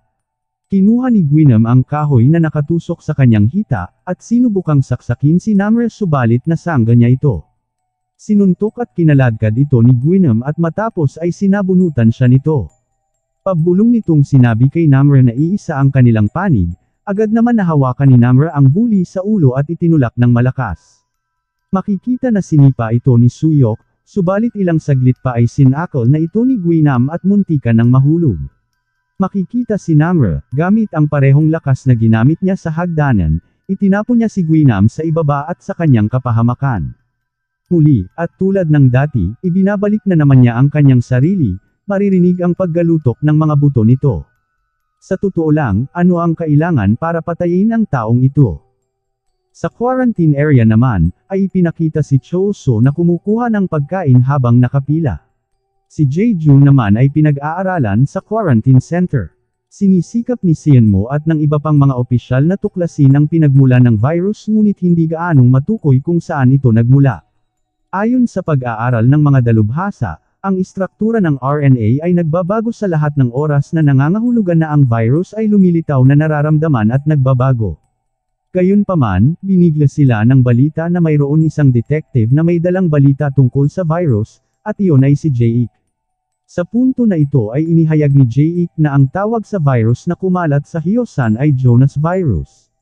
Inihayag niya ang balita tungkol sa Hyosan High School at higit sa lahat, ang laptop na naglalaman ng mga information hinggil sa virus, at mga posibleng solusyon upang matigil na ang paglaganap ng virus na iyon. Sinabi din ng detective ang eksaktong lokasyon ng laptop, na matatagpuan sa Science Laboratory ng Hyosan High School. Agad naman na ang mga sundalo ay nagkasa ng isang operasyon at gumawa ng isang plano upang makuha ang laptop sa paaralan. Sa Ground Zero, si Yoonji ay nailigtas at nagkita sila ni Cho Su. Inakala ni Cho Su na namatay na ang kaibigan. Matapos sabihin ni Yoonji na siya ay nagugutom, ay inalok ito ng pagkain ng kaibigan. Subalit tinanggihan ito ni Yoonji at sinabi niya na iba ang gusto niyang kainin at sinabi nito na si Cho Su ang gusto niyang kainin. Malinaw na wala siya sa kanyang sarili at tinitingnan niya si Cho Su nang may layuning pumatay, na nagpapakita na gusto niya itong kainin. Mula naman sa rooftop, ay ramdam pa din ng mga estudyante ang pananakit ng kanilang katawan mula sa pakikipaglaban kay Gwynam.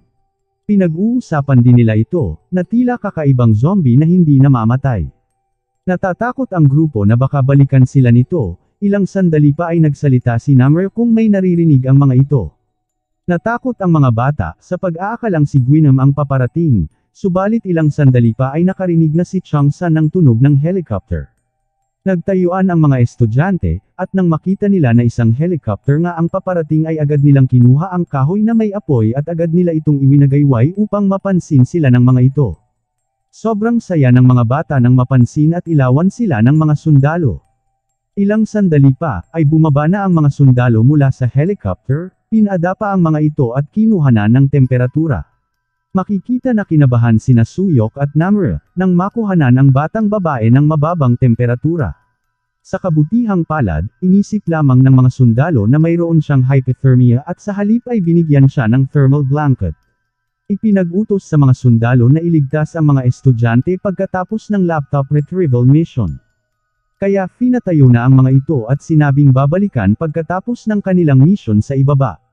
Naghahanda na ang mga sundalo upang simulan ang kanilang pakay upang hanapin ang laptop ni Mr. Lee. Mula naman sa grupo ni Harry, makikita ang mga ito na nakasilip sa bintana at nagpaplano na umakyat sa rooftop habang ang mga zombie ay abala sa ilaw at ingay ng helicopter.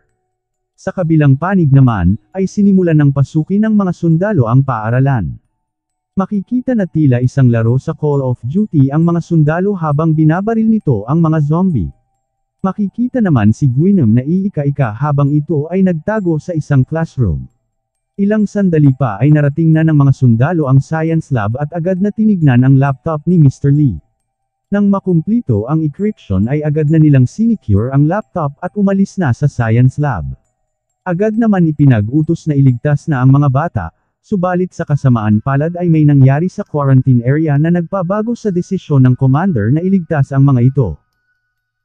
Habang sinisimula ng mga sundalo na i-airlift ang iba't ibang bata tungo sa kaligtasan, ang pagpatay ni Yunji kay Chosu ay nagdulot ng pagdududa sa commander sa planong ito. Napagtanto niya na ang virus ay nag-mutate at ngayon ay walang paraan sa pagkakaiba sa pagitan ng mga nahawahan at sa mga hindi. Kaya nagbigay ng utos ang commander na itigil na ang pagliligtas sa mga estudyante at patayin silang lahat, kung ang mga ito ay magpupumilit. Dahil sa biglaang pagbabago ng desisyon para sa kanilang kaligtasan. Ang mga estudyante ay nagmakaawa at nakikiusap na isama sila papaalis, kaya ang mga ito ay tinutukan ng baril. Nakiusap si Chang San na kahit ilan lang sa kanila ay ma-rescue, subalit ipinag-utos ng commander na paputukan na silang lahat. Ngunit naawa ang sundalo kaya't napilitan itong magpaputok ng baril sa gawing itaas. Pagkatapos ng pangyayari, humingi ng paumanhin ng isa sa mga sundalo bago ito umalis. Makikita sa loob ng helicopter ang pagkadismaya ng isang sundalo dahil sa hindi niya nagawang iligtas ang mga bata. Dala ang laptop, nilisan ng mga sundalo ang paaralan dala ang kanilang pakay, habang ang mga bata ay naiwan sa kanilang sarili muli. Iyan ay partikular na masamang balita para kay Harry at sa grupo, na nawala ang kanilang pagkakataong makatakas at napilitang magtago. Sa mga oras na ito, galit at pagkadismaya ang nararamdaman ni Chang San at pakiramdam ng mga ito ay wala nang kahit sino ang magbabalak upang sila ay iligtas. Mula naman sa base ng mga sundalo, ang congresswoman at si Yusin ay binatikos dahil sa pagtakas ni Soju. Siya ay nag-interrogate, muling nagkwento tungkol sa kung paano iniligtas ni Soju ang kanyang buhay at kung paano siya laging nasa tabi ng mga sibilyan. Pinagdiinan din ito na kung ang ibang tao na hindi kaano-ano ay nagagawang iligtas.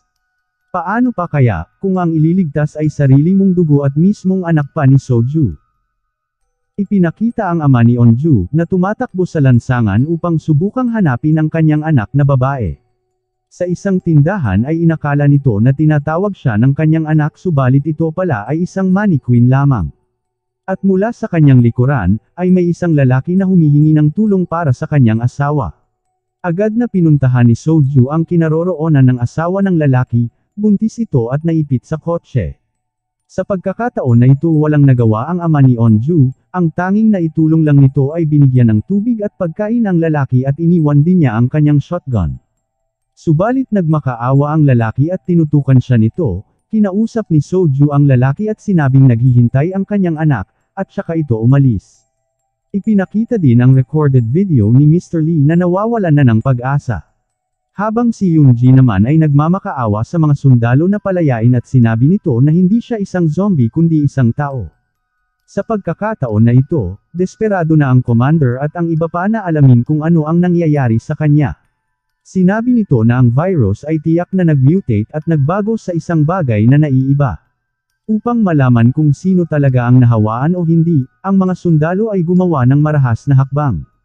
Ang mga mamamayan ng Hyosan ay hiniwalay sa iba, kasama ang congresswoman, at ang mga bagong ligtas na survivor na binigyan ng mas mahigpit na seguridad at inilipat sa isang special quarantine room.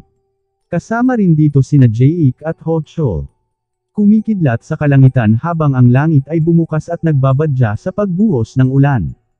Para sa mga nasa rooftop ng paaralan, hinayaan nilang damaloy ang kanilang mga damdamin na puno ng kalungkutan, na dumaan sa medyo mabigat na pagsubok. Sa gitna ng bagyong ito, nakaisip si Chang San ng isa pang ideya. Gusto nilang gamitin ang kulog at kidlat bilang paraan ng kanilang pag-alis sa rooftop at sa ganitong pagkakataon ay madali silang makakatakas sa mga zombie. Sa partikular, gusto nilang tumungo sa bundok, at ganap na lumayo sa urban area. Ang plano ay nakatakda ng gawin at ang grupo ay magkakapares din, na magkahawak kamay upang may katuwang ang bawat isa. Ang kawawang si Desu ay ang bukod tanging walang kapareho, ngunit hawak niya ang kanyang sariling kamay at mukhang okay lang iyon. Maingat na bumaba ang mga estudyante sa hagdan. Mula naman sa labas ay napansin ng apat ang kakaibang ikinikilos ng mga zombie, kaya ginamit din nila ang pagkakataon upang makarating sa bundok. Nagawa na ng grupo ni Chang San na makarating sa harap ng paaralan, maingat nilang pinlano ni Onju ang kanilang susunod na hakbang. Napagdesisyonan nila na baybayin ang gilid ng paaralan at maingat na lumakad patungo sa kanilang pupuntahan. Habang pinamumunuan ni Chang San ang kanyang grupo na lumakad sa paligid ng paaralan, dumiretso sila sa ilalim ng bumanggang sasakyan. Ngunit sa hindi inaasahang pagkakataon, ay nakita ni Chang San ang kanyang ina na tinatawag ang kanyang pangalan, kasabay sa pagbuhos ng ulan ay biglang naging zombie ito. Nang tawagin niya itong mama, ay inatake siya nito. Sa pagkakataon na ito ay mas lalong kabang-abang ang susunod na pangyayari sa pagitan ng mag-ina na siguradong magbubuhos sa emosyon ng mga manunood.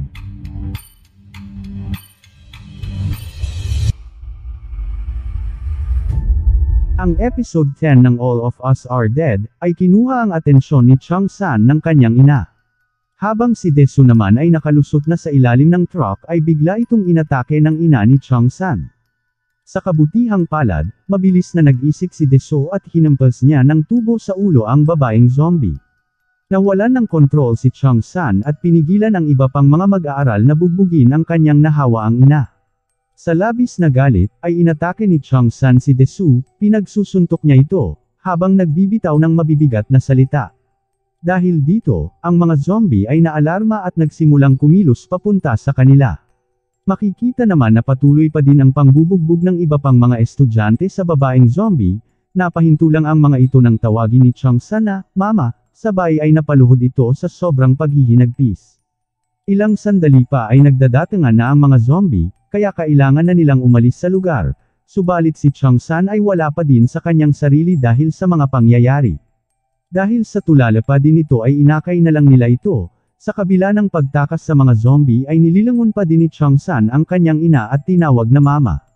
Ang part na ito ay talaga namang nakakadurog ng puso, makita ang iyong ina sa di inaasahang pagkakataon at pangyayari na kagaya nito ay sobrang bigat sa damdamin.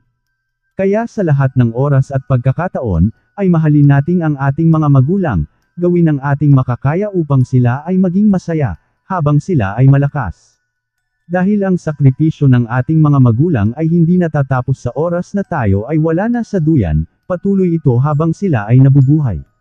Sa mga oras na ito ay sinusubaybayan ng mga zombie sina Changsan at ang iba pa at sinimulan silang habulin. Habang lumalayo ang grupo, hindi nalalayo si Junyang at ang iba pa. Sa di kalayuan ay makikita ang grupo ni Hari na papunta na din sa bundok.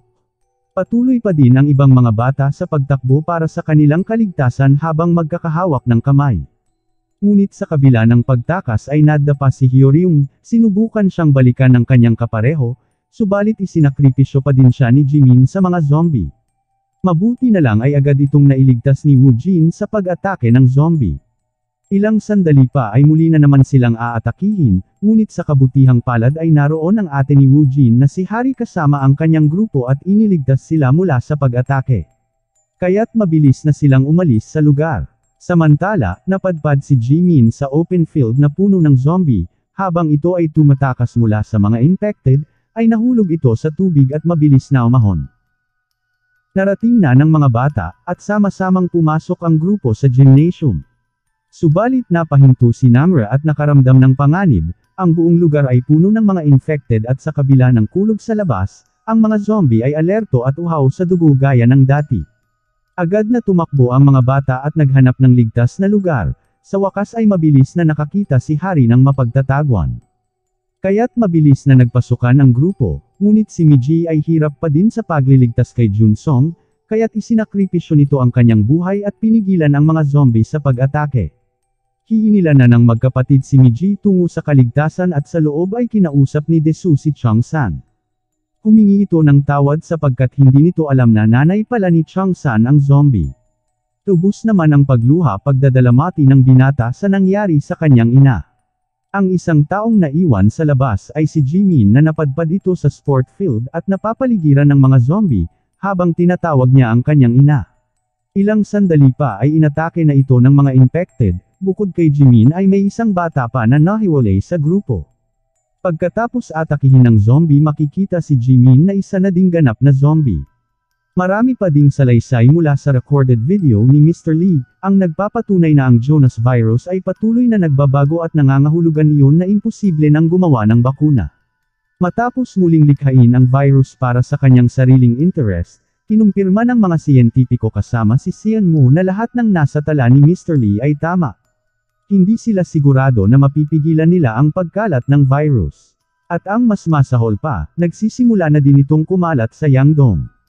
Ipinahiwatig din ng commander at ng kanyang mga kasama, na maaaring sumuko na sa hiyosan at hayaan na itong ganap na masira. Makikita naman na mayroong isang brown envelope na inabot sa congresswoman at ito ay naglalaman ng resignation letter. Nais ng kanyang partido na magbitiw na ito sa kanyang pwesto, subalit ayaw niyang sumuko para sa bayan, ngunit nais ng mga pinuno ng partido ay mapanatili ang kanyang karera at bigyan ng pagkakataon bumaba. Makikita naman ang tatay ni Onju, na pumasok sa isang tindahan, kumuha ito ng mga ribbon at inilagay sa kanyang bag. Mula naman sa storage room ng gymnasium, makikita ang lahat na pagod at natutulog pa. Samantala, ang ama ni Onju ay abala sa pagtatali ng ribbon sa mga puno sa kagubatan. Sa hindi inaasahang pangyayari, aksidenteng nadulas ito at nagpagulong-gulong bago tumama sa puno, makikita na nailaglag at naiwan ito ang isang flashlight. Sa storage room naman, makikita si Namre na nakatingin sa itaas at sinasabing may naaamoy ito. Sinabi nito na papunta na silang lahat sa kinaroroonan nila dahil ang amoy ay palakas ng palakas. Samantala, habang nag-uusap si Wujin at Hari, lumapit si Desu at inamin ang nararamdaman nito sa dalaga. Ang lahat ng ito ay nangyari, dahil talagang gusto ni Desu si Hari at madalas ay tinatawag pa niya si Wujin na bayaw sa lahat ng oras. Matapos tanungin ni Hari ang pangalan ni Desu, tumayo ito at sinuntok. Binatukan ito ang binata at makikita na naghahabulan ang dalawa. Habang binabalibag ni Hari ng bola si Desu, ay nakaisip naman ng ideya si Suyok nang mapadpad sa kanya ang isang bola. Samantala sa paaralan, makikita si Guinam na nakaakyat ng muli sa rooftop at makikita na naghahanap ito sa kanila. Sa storage room, ay nakaisip si Suyok na gumawa ng isang kudradong harang, gamit ang lalagyan ng mga bola bilang proteksyon sa kanilang paglabas. Agad na naghanda ang grupo ng mga bagay na kanilang gagamitin. Subalit nais ni Mijin na baguhin ang plano, dahilan upang silang dalawa ni Junyang ay magkainitan. Agad naman na magitan si Suyok sa kanila, ngunit ayaw pa din magpaawat ng dalawa, kaya't itinulak ni Namre ng malakas ang trolley at sinabing pagbotohan kung sila ay maghihiwalay o sama-samang lalabas. Ang lahat ng hindi na pagkasunduan ng dalawa ay humahantong sa isang demokratikong boto tungkol sa susunod na hakbang ng kanilang grupo. Sa huli ang karamihan ay bumoto sa naunang plano na sila ay sama-samang lalabas. Matapos ang botohan agad na nagsimula ang mga bata para sa kanilang plano. Sa ibang lugar, patuloy ang pag-aaral ng mga dalubhasa sa virus, sinabi ng mga scientist na tanging virus na lang ang nagpapagalaw sa katawan ng mga taong infected nito. Nangangahulugan lang ito, napatay na si Jae Jun, subalit hindi nila maipaliwanag ang nangyari kay Yoonji. Nakarating na din ang balita na kumalat na ang infection sa Yandong, kaya't napilitan sila na ilagay sa lockdown ang buong lugar. Sa storage room, habang abala ang lahat, nakapulot si Changsan ng isang pirasong chocolate bar. Agad namang lumapit si Desu, upang tignan kung ito ba ay expired na. Malaunan ay pinaghati-hatian ng mga bata ang chocolate, isang kagat bawat isa, subalit nang makarating kay Deso ay agad niyang sinubo lahat sa pag-aakalang siya na ang last, subalit naghihintay pala si Junyang na makarating sa kanya ang chocolate, subalit wala na itong nagawa. Nagpatuloy ang mga bata sa paghahanda, nagkabit ng mga protective pad ang mga ito, habang tinutulungan naman ni Chang San na magkabit si Onju. Sa wakas ay handa na ang grupo na lumabas, pinangunahan ni Junyang ang pagbubukas ng pinto, makikita ang mga bata mula sa storage room, habang tulak-tulak ang mga trolley. Agad silang bumuo ng isang bilog at itinali ni Suyok ang magkabilang panig. Mabilis naman silang inatake ng mga zombie, dahilan upang hindi nila maitulak ang trolley. Kaya't pinagpapalo ni Chang San at ng grupo ang mga zombie upang sila ay makausad. Nakita ni Juyang na inaatake si Minji ng isang zombie mula sa itaas, kaya't mabilis niyang tinulungan ito. Sa kasamaang palad, nakagat si Junyang sa kamay, pagkatapos ito ay nabuwal sa sahig. Matapos ang pangyayari, ay naalala nito ang kanyang sinabi na aakuin niya ang responsibilidad. Agad itong umakyat sa harang, isinakripisyo ang sarili at pinigilan ang mga zombie upang mas mabilis na makausad ang mga kaibigan. Makalipas na atakihin ng mga zombie si Junyang ay naging zombie na din ito, hindi ito magawang sakta ni Changsan nang inatake sila nito. Ipinakita naman si Yunji na inalis ang sarili sa pagkakatali, pagkatapos ay hinangahan ito ang salamin at isinulat na siya ay nagugutom at akmang aatakihin ito ang commander sa kabilang panig ng salamin. Samantala, si Sian Mo at ang iba pa ay sinabihan ng NIS, na sa loob ng isang linggo ang impeksyon ay kakalat sa maraming kalapit na bayan at pagkatapos ay sa Seoul. Kapag tumama ito sa kabisera, ang virus na ito ay magdudulot ng mataas na antas ng pinsala na hindi pa nararanasan sa ngayon. Kaya't ang tanging solusyon na kanilang naiisip ay pambobomba sa buong lungsod ng Hyosan upang pigilan ang pagkalat nito. Sa kabilang panig, ay narating na ng ama ni Onju ang likod ng paaralan, sinira at sinipa niya ang gate upang makapasok. Nang marating nito ang construction site, siya ay nak-order ng mga manggagawang zombie. Habang si Changsan naman at ang iba pang grupo ay ginagawa ang lahat ng makakaya upang makatawid sa pintuan ng gymnasium. Sa wakas ay narating na nila ang pintuan kaya't inalis na ni Desu ang tali at inopen niya ito sa gawing bahagi ng pintuan ngunit ito ay nakalock. Samantala, ligtas na nakalabas ng construction site ang ama ni Onju at agad itong nagtungo sa pupuntahan. Ipinakita naman si Guinam na tumatakbo, Inaamoy at pinakikiramdaman ang kinaroroonan nila Chang San. Hindi pa din nagawang buksan ng mga bata ang pinto sapagkat ito ay nakakadena sa labas. Sa pagkakataon na ito, ay mag-isang itinutulak ni Onju ang pinto, dahil kailangan ng tulong ni Namre mula kay Suyok. Sa oras na ito ay ipinakita si Guinam na narating na nito ang harap ng gymnasium. Kasabay nito, nang akmang bubunggon muli ni Onju ang pinto ay biglang bumukas ito at nakita niya ang kanyang ama, natulala ito at agad niya itong sinalubong ng yakap.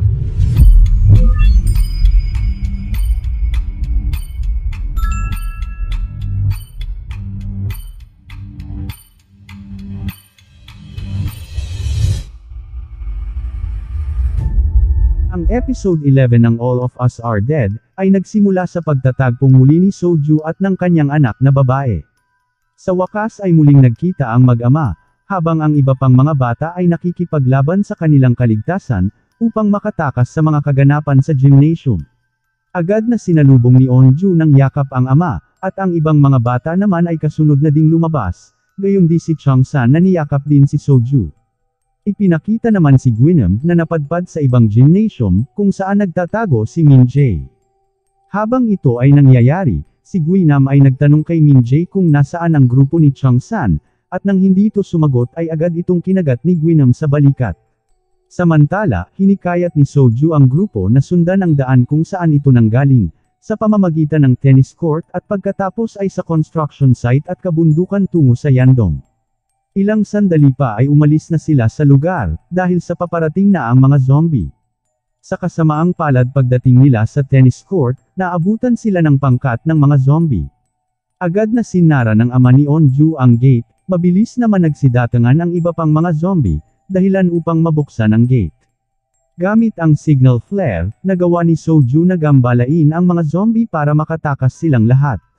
Si Soju ay nagsimulang sumipol at kalaunan ay isinakripisyo ang kanyang sarili upang matiyak na ang mga bata ay makakarating sa kaligtasan. Hinila ni Chang San ang ama ni Onju upang lumabas, subalit sa halip na sumamang tumakas ay inilok nito ang sarili sa loob. Nakita ni Onju na may kagat na ito sa kamay, ito pala ay nakagat ng mga oras na inatake ito ng isang zombie. Pagkatapos nagpaalam na ito sa kanyang anak, mabilis na pinatakas ang mga bata, nang makita nito na paparating na ang mga zombie. At mula sa kanyang likuran ay inatake na din ito ng iba pang mga zombie. Nakakaawang tignan at nakakadurog ng puso na sa ganitong paraan natapos ang pagiging isang ama ni Soju sa kanyang anak. Makikita na isinakripisyo nito ang kanyang buhay para masigurado ang kaligtasan ni Onju at ng iba pa.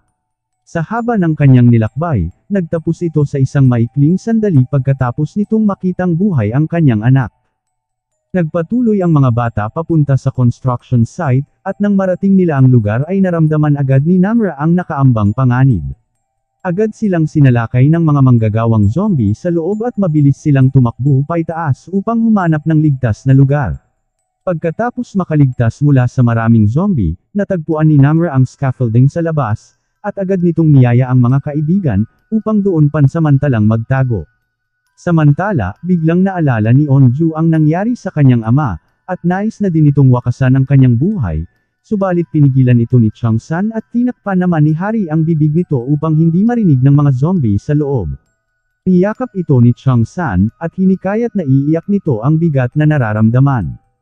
Ipinakita ang ama ni Onju na isa ng zombie, habang nakabanggaan ito ang ina ni Chang San. Ipinakita naman ang recorded video ni Mr. Lee, na puno ng pagsisisi habang ito ay tumingin sa kanyang asawa at anak na infected. Samantala, tinatanong ni Gwynam si Min Jae kung nasaan si Chang San, ngunit ang katotohanan ay hindi naman talaga niya ito kilala. Nang may pagkakataon ay kinuha ni Min Jae ang sibat at itinusok ito sa leeg ni Gwynam, subalit hindi ito naapektuhan. Sinubukan din ito na panain ang bully, ngunit nakailag ito. Maya-maya pa ay naging zombie na din ito. Nang marating ni Gwynam ang gymnasium kung saan nanggaling sila Chang San, ang tanging nadatnan na lang nito ay si Junyang na isa ng zombie, pinagtripan niya ito at sinipa sa likod, dahilan upang ito ay bumagsak sa sahig. Paglabas ni Gwynam mula sa likod ng gymnasium ay naamoy nito ang grupo, kaya't naglakad ito papunta sa construction site. Habang si Gwynam ay patuloy sa paghahanap, ang commander ay gumawa ng isang tunog sa loob ng laboratory kung saan nakaapekto ito sa pangdinag ni Yoonji at sinundan naman ito ng zombing si Jae-jun. Dahil dito ang mga opisyal ay maglulunsad ng mga drone na magpapalabas ng tunog upang i-target ang mga lokasyon upang akitin ang lahat ng mga zombie. Partikular sa mga pangunahing lugar kung saan maaari silang maglunsad ng mga missile para pasabugan ang mga ito. Kabilang sa mga lugar na ito ang downtown Hyosan at Hyosan High. Napagpasyahan nila na 50,000 ang nahawahan ay malilipol, kasama na ang 10,000 na asymptomatic o hindi nahawahan. Sa construction site naman, ay ipinakita si Namre na biglang namula ang isang mata, makikita ito na tila may nag-uudyok na kagatin si Suyok at bigla nitong kinagat ang kanyang kamay upang mapigilan ang kanyang sarili. Maya-maya pa ay nagising na si Suyok at napansin ang kakaiba kay Namre, kumuha ito ng tela at tinakpan ang mata nito. Ilang sandali pa ay may narinig si Namre na pinagtatago na ang lahat. Kasabay nito, ipinakita ang mga sundalo na lula ng helicopter at nagbibigay ng babala sa mga mamamayan na magsitago na at magkakaroon ng malawakang pagsabog sa lungsod. Sinabi ni Namre sa mga kaibigan ang narinig, na magkakaroon ng malawakang pagsabog kasama ang kanilang paaralan, kaya't kinakailangan na nilang magtago. Sa hindi kalayuan ay nagpalipad na ng maraming drone ang mga sundalo sa buong bayan, Sinimulan na din nilang patunugan ang mga ito kaya't ang mga zombie ay agad na sinundan ang mga drone na nasa iba't ibang panig ng lungsod. Habang nangyayari ito, ay bigla namang narinig ng mga bata ang malakas na sigaw ni Guinam na tinatawag ang pangalan ni Chang San. Si Guinam ay biglang nagpakita sa bintana, agad itong hinampas ni Chang San, subalit nakailag ang bully at agad na hinila si Chang San sa likod at ito ay bumagsak sa sahig.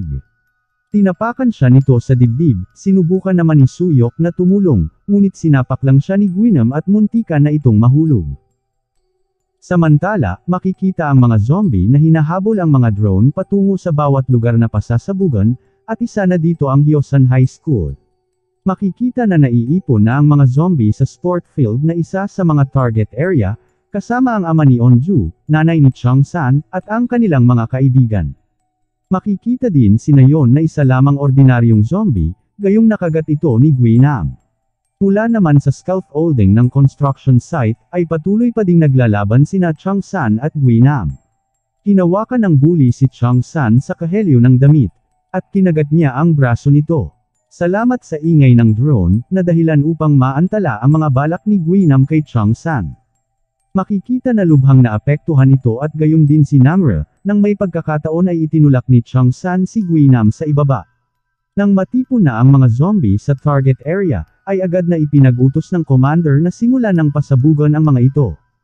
Samantala, sinabi ni Chang San na walang mamamatay, pagkatapos ay kinuha nito ang kanyang name tag at ibinigay kay Onju at gayon din si Onju kay Chang San.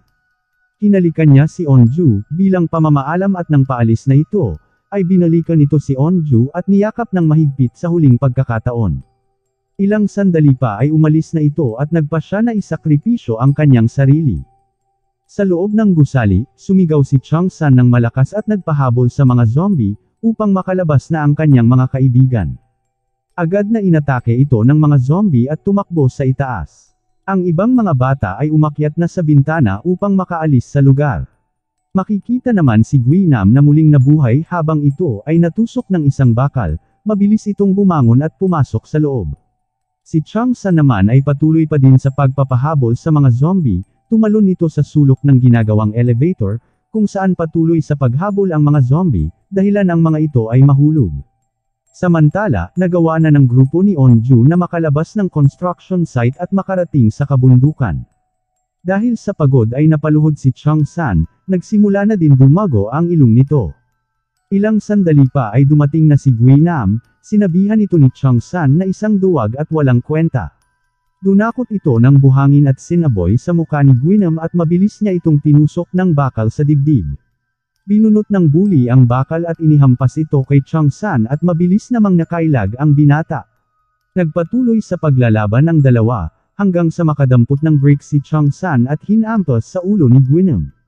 Sinakal siya nito at dinukot ang isang mata, sa pagkakataon na ito ay matagumpay na naisakatuparan ni Gwynam ang kanyang plano laban kay Chang San. Makikita naman ang kaawa-awang kalagayan ng binata.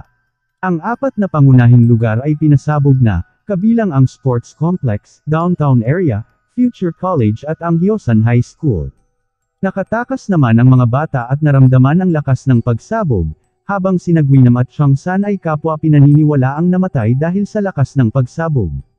Naging matagumpay ang operasyon, at nagpa siya si Sian Mo na magpahinga. Kinabukasan ay magpapadala sila ng mga sundalo sa Ground Zero upang tingnan kung may natitira pang zombie at tingnan kung may mga nakaligtas. Para kay Sian Mo, ang halaga ng lahat ng bawat inosenteng buhay na namatay sa pagsabog ay nagpabigat sa kanyang konsensya at nagpakamatay siya sa kanyang opisina. Sa katunayan, ito ay nagmula nang mapanood niya ang huling video ni Mr. Lee, na sinubukan niyang patayin ang kanyang asawa at anak bilang huling paraan nang hindi siya makahanap ng bakuna. Habang patapos na ang episode, ay ipinakita naman ang pagkawasak ng mga lugar sa pagsabog ng bomba, kabilang ang bangkay ni Chang San na may hawak na name tag ni Onjo.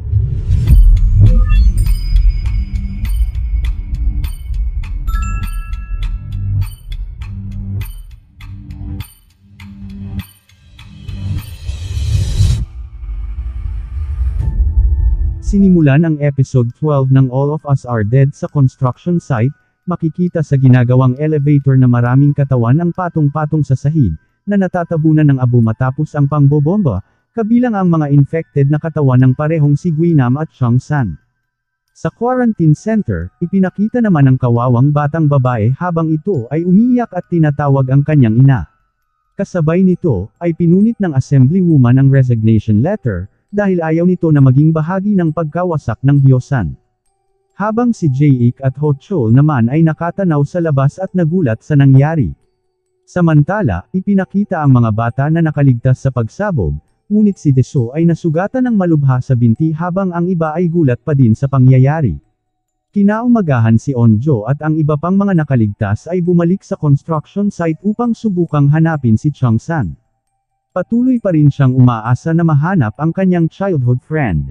Habang umiiyak ay nilapitan ito ni Namra at sinabi na wala itong naaamoy na tao kaya't hinikayat niya si Onjo na umalis na. Ilang sandali pa ay makikita na ang mga bata na tinatahak na ang kabundukan. Makikita naman na ginagalugad ng mga sundalo ang lunsod ng Hyosan. Sa kabila ng pambobomba, ang lahat ay nakakagulat na buo, habang lumilipat ang mga militar sa pagitan ng mga tindahan at bahay upang subukan tignan ang sinumang nakaligtas at patayin ang mga zombie na naiwan. Pagkatapos ay dinidikitan nila ng sticker ang bawat bahay, na palatandaan na safe o restricted ito. Sa kabundukan naman ay makikita ang mga bata na naglalakad, iniisip ni Namre na kaya walang nagligtas sa kanila, dahil sa isa siyang zombie, ngunit pinabulaanan nito ni Onjo. Bilang kaibigan na ang turing ni Namre sa mga kaklase, ninais ni Namre na maulit muli ang kanilang bonfire kasama ang mga ito. Ilang sandali pa ay napansin ni Minji na naliligaw na sila, at inisip nito na baka pabalik na sila sa Hyosan. Ilang sandali pa ay napansin ni Woojin ang ribbon na nakatali sa puno kaya't itinuro niya ito. Tinignan ito ni Hari at sinabing sinadya ang pagkakalagay ng mga ito, kaya't sinundan nila ang bawat ribbon na nakatali sa puno. Habang naglalakad, ay may napansin si Onju sa ibaba ng puno, nilapitan niya ito at nakita niya ang flashlight ng kanyang ama, napaupo ito habang umiiyak nang maalala niya ito. Ipinakita naman ang nakakadenang asawa at anak ni Mr. Lee habang ang mga ito ay sinusuri ng mga taga-NIS. Hindi nagtagal nakarating na sa bayan si Namra at ang iba pa. Nagulat sila kung gaano kalinis ang lugar, inisip ng mga ito na in-evacuate na ang mga tao at mas safe ang lugar na ito, dahil walang dugo sa mga lansangan at buo ang mga salamin ng bintana. Ayon kay Hari hindi magiging ganito kalinis ang bayan, kung laganap ang zombie sa lugar. Habang naglalakad ang grupo, tila nakaramdam si Namra ng kakaiba, bukod pa sa kanyang mas mataas na pandinig at hindi maipaliwanag na superhuman ability. Nararamdaman niya na tila may nagtatakbuhan at kinumpirma niya sa kanyang mga kasama na zombie nga ang mga ito at papunta sa kinaroroonan nila, kaya't agad na sinabi ni Namre na magsitakbuhan na ang mga ito. Tumakbo ang grupo sa likod ng mga eskinita patungo sa bayan, subalit sa hindi inaasahang pangyayari ay nadapa ang grupo nila Suyok, habang inaakay si Desu na may sugat sa binti. Kung saan nagpa siya ang lahat ng bata na maghanda at lumaban. Ang bawat isa ay kumuha ng armas mula sa tindahan upang protektahan ang bawat isa. Makikita na ang mga bata habang naghihintay sa pagdating ng mga zombie. Ilang sandali pa, mula sa usok ay maaaninag na ang paparating na pangkat ng mga zombie. Di malaunan ay nakipaglaban na ang mga bata sa mga zombie, bawat isa ay sinisikap na maging maayos at ligtas ang lahat. Ito ay ganap na kaguluhan at sa kasunod na labanan, si Woojin ay nakagat sa leeg upang iligtas si Hari sa pag-atake ng zombie. Ilang sandali pa ay naging zombie na ito, at akmang aatakihin ito ang kanyang ate, ngunit mabilis naman na binali ni Namra ang leeg nito upang iligtas si Hari. Matapos patayin si Woojin, ginamit muli ni Namra ang kanyang mga kakayahan upang kumbonsihin at gabayan ang iba na tumakas na. Si Namra ay patuloy na nakikipagbuno sa kanyang sarili, bagamat may boses sa loob ng kanyang ulo na humihimok na pumatay at kainin silang lahat. Dahil sa lumalalang kalagayan ni Namra, ay sinubukan nito na ihiwalay ang kanyang sarili sa grupo, paulit-ulit na hinahampas ang kanyang ulo at kinakagat ang kanyang braso para pigilan ang kanyang sarili. Napansin ni Suyok na wala si Namra sa likuran nila at nagmamadaling bumalik para hanapin siya, si Onjo ay sumama rin sa kanya. Nakita nila si Namre na kumakain ng isa sa mga namatay na zombie. Tinawag ito ni Onju, lumingon si Namre at pagkatapos nitong sabihin na umalis na kayo ay agad na inatake nito si Onju. Sa kalaunan ay umalis si Namra pagkatapos sugurin si Onjo, sinundan ito ni Suyok at Onju subalit hindi na nila ito nakita pa. Determinadong lumayo si Namre sa iba, upang maiwasan ang pananabak na masaktan at kainin ang kanyang mga kaibigan. Samantala, sina Desu, Hari at ang iba pang nakaligtas ay nakarating na sa border ng Yandong at agad na sumuko sa mga sundalo.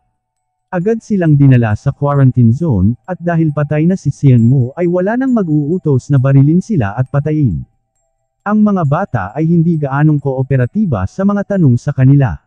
Matapos iwanan sa rooftop at pabayaan sa kanilang kamatayan, nananatiling tikom ang bibig nilang lahat tungkol sa nangyari, higit pa sa pag-amin na sinimulan ito ni Mr. Lee sa pamamagitan ng pagkidnap kay Hyunju, at ang tanging gusto lang nila ay pakawalan na sila doon. Mula sa rehas ay makikita naman ang mga alaalang papel na may nakasulat na pangalan at mensahe ng mga mahal nila sa buhay. Makalipas ang apat na buwan, nagpa siya ang mga pinuno ng partido na huwag magsagawa ng pagdinig sa pambobomba sa Hyosan at wakasan na ang batas militar. Matagal nang dumating ang mga estudyanteng nakaligtas, subalit naka-quarantine pa rin sila kaya hindi ito ang happy ending na inaasahan nilang lahat. Makikita naman si Onju na payapa ang isipan, at pinagmamasdan ang pagdating ng mga tulong para sa apektadong mamamayan ng Hyosan at Yandong. Agad na tinungo ni Onjo ang pader sa kalagitnaan ng gabi upang magbigay galang kay Changsan at sa iba pa. Makikita ang mga ribbon na nakatali sa isang puno na may pangalan ng kanyang mga mahal sa buhay. Nag-iwan din ito ng mga merienda sa tabi ng puno at mula sa kanyang palad ay tinignan nito ang name tag ni Changsan habang ito ay napaiyak. Sinubukan niyang magpatuloy sa kanyang buhay. Gayunpaman, sa di kalayuan ay nakita nito ang kumikislap na liwanag mula sa kanilang paaralan, isang campfire sa hitsura nito. Mula sa kampo ng quarantine, naabutan ni Onjo si Suyo. Sinabi nito ang balita tungkol sa campfire at naniniwala siyang maaaring ito ay si Namra. Sinabi ni Onju na pupunta siya sa school kinagabihan at nakiusap kay Suyok na wag nang ipaalam sa iba, agad naman nagpa siya si Suyok na sumama sa kanya. Kinagabihan, handa na at buo na ang loob ni Onju. Papunta na ito sa lugar kung saan sila magkikita ni Suyok, ngunit pagdating nito sa lugar ay nadatnan ni Onju ang iba pa niyang kaibigan. Sinabihan ni Onju si Suyok na wag nang sabihin sa iba, ngunit ipinaalam naman ito kay Deso at ipinaalam naman ito ni Deso kay Hari, at isusumbong naman sila ni Minji sa kapulisan kapag hindi ito isinama.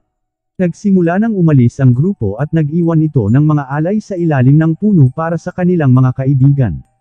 Sa di kalayuan ay napansin din ni Harry ang campfire mula sa rooftop ng paaralan at itinuro niya ito sa mga kaibigan. Sa kalaunan, ang grupo ay nakarating na ng paaralan. Umakyat sila sa hagdan at malaunan ay narating na nila ang rooftop, doon nakita nila ang apoy na nagninangas. Nagtipon sila sa paligid nito, nagtanong sila sa isa't isa kung sino ang maaring may gawa ng apoy. Sinabi ni Onju na maaring si Namra, dahil ito ang gusto ulit niyang mangyari. Mula sa likuran, ay nagpakita si Namra, lumapit ito sa kanila ng nakangiti at inamin niyang namiss niya silang lahat, ngunit hindi siya maaaring sumama sa kanila. Ibinalita ni Namra sa mga kaibigan, na may mga katulad niya at sumali ito sa kanila. Ito kaya ang mga ibang nahawa ni Guinam. Sinusubukan pa din ni Onjo na hikayatin sumama na ito sa kanila, ngunit pagkatapos ngumiti ng mahinahon, ay nangako si Namre na mananatiling kaibigan pa din niya ang mga ito, kahit saan sila magpunta. Pagkatapos sabihin ni Namre na bumalik na ang mga kasama niya, ay tumalo na ito mula sa rooftop at iniwan silang lahat na namangha at napanganga sa gulat.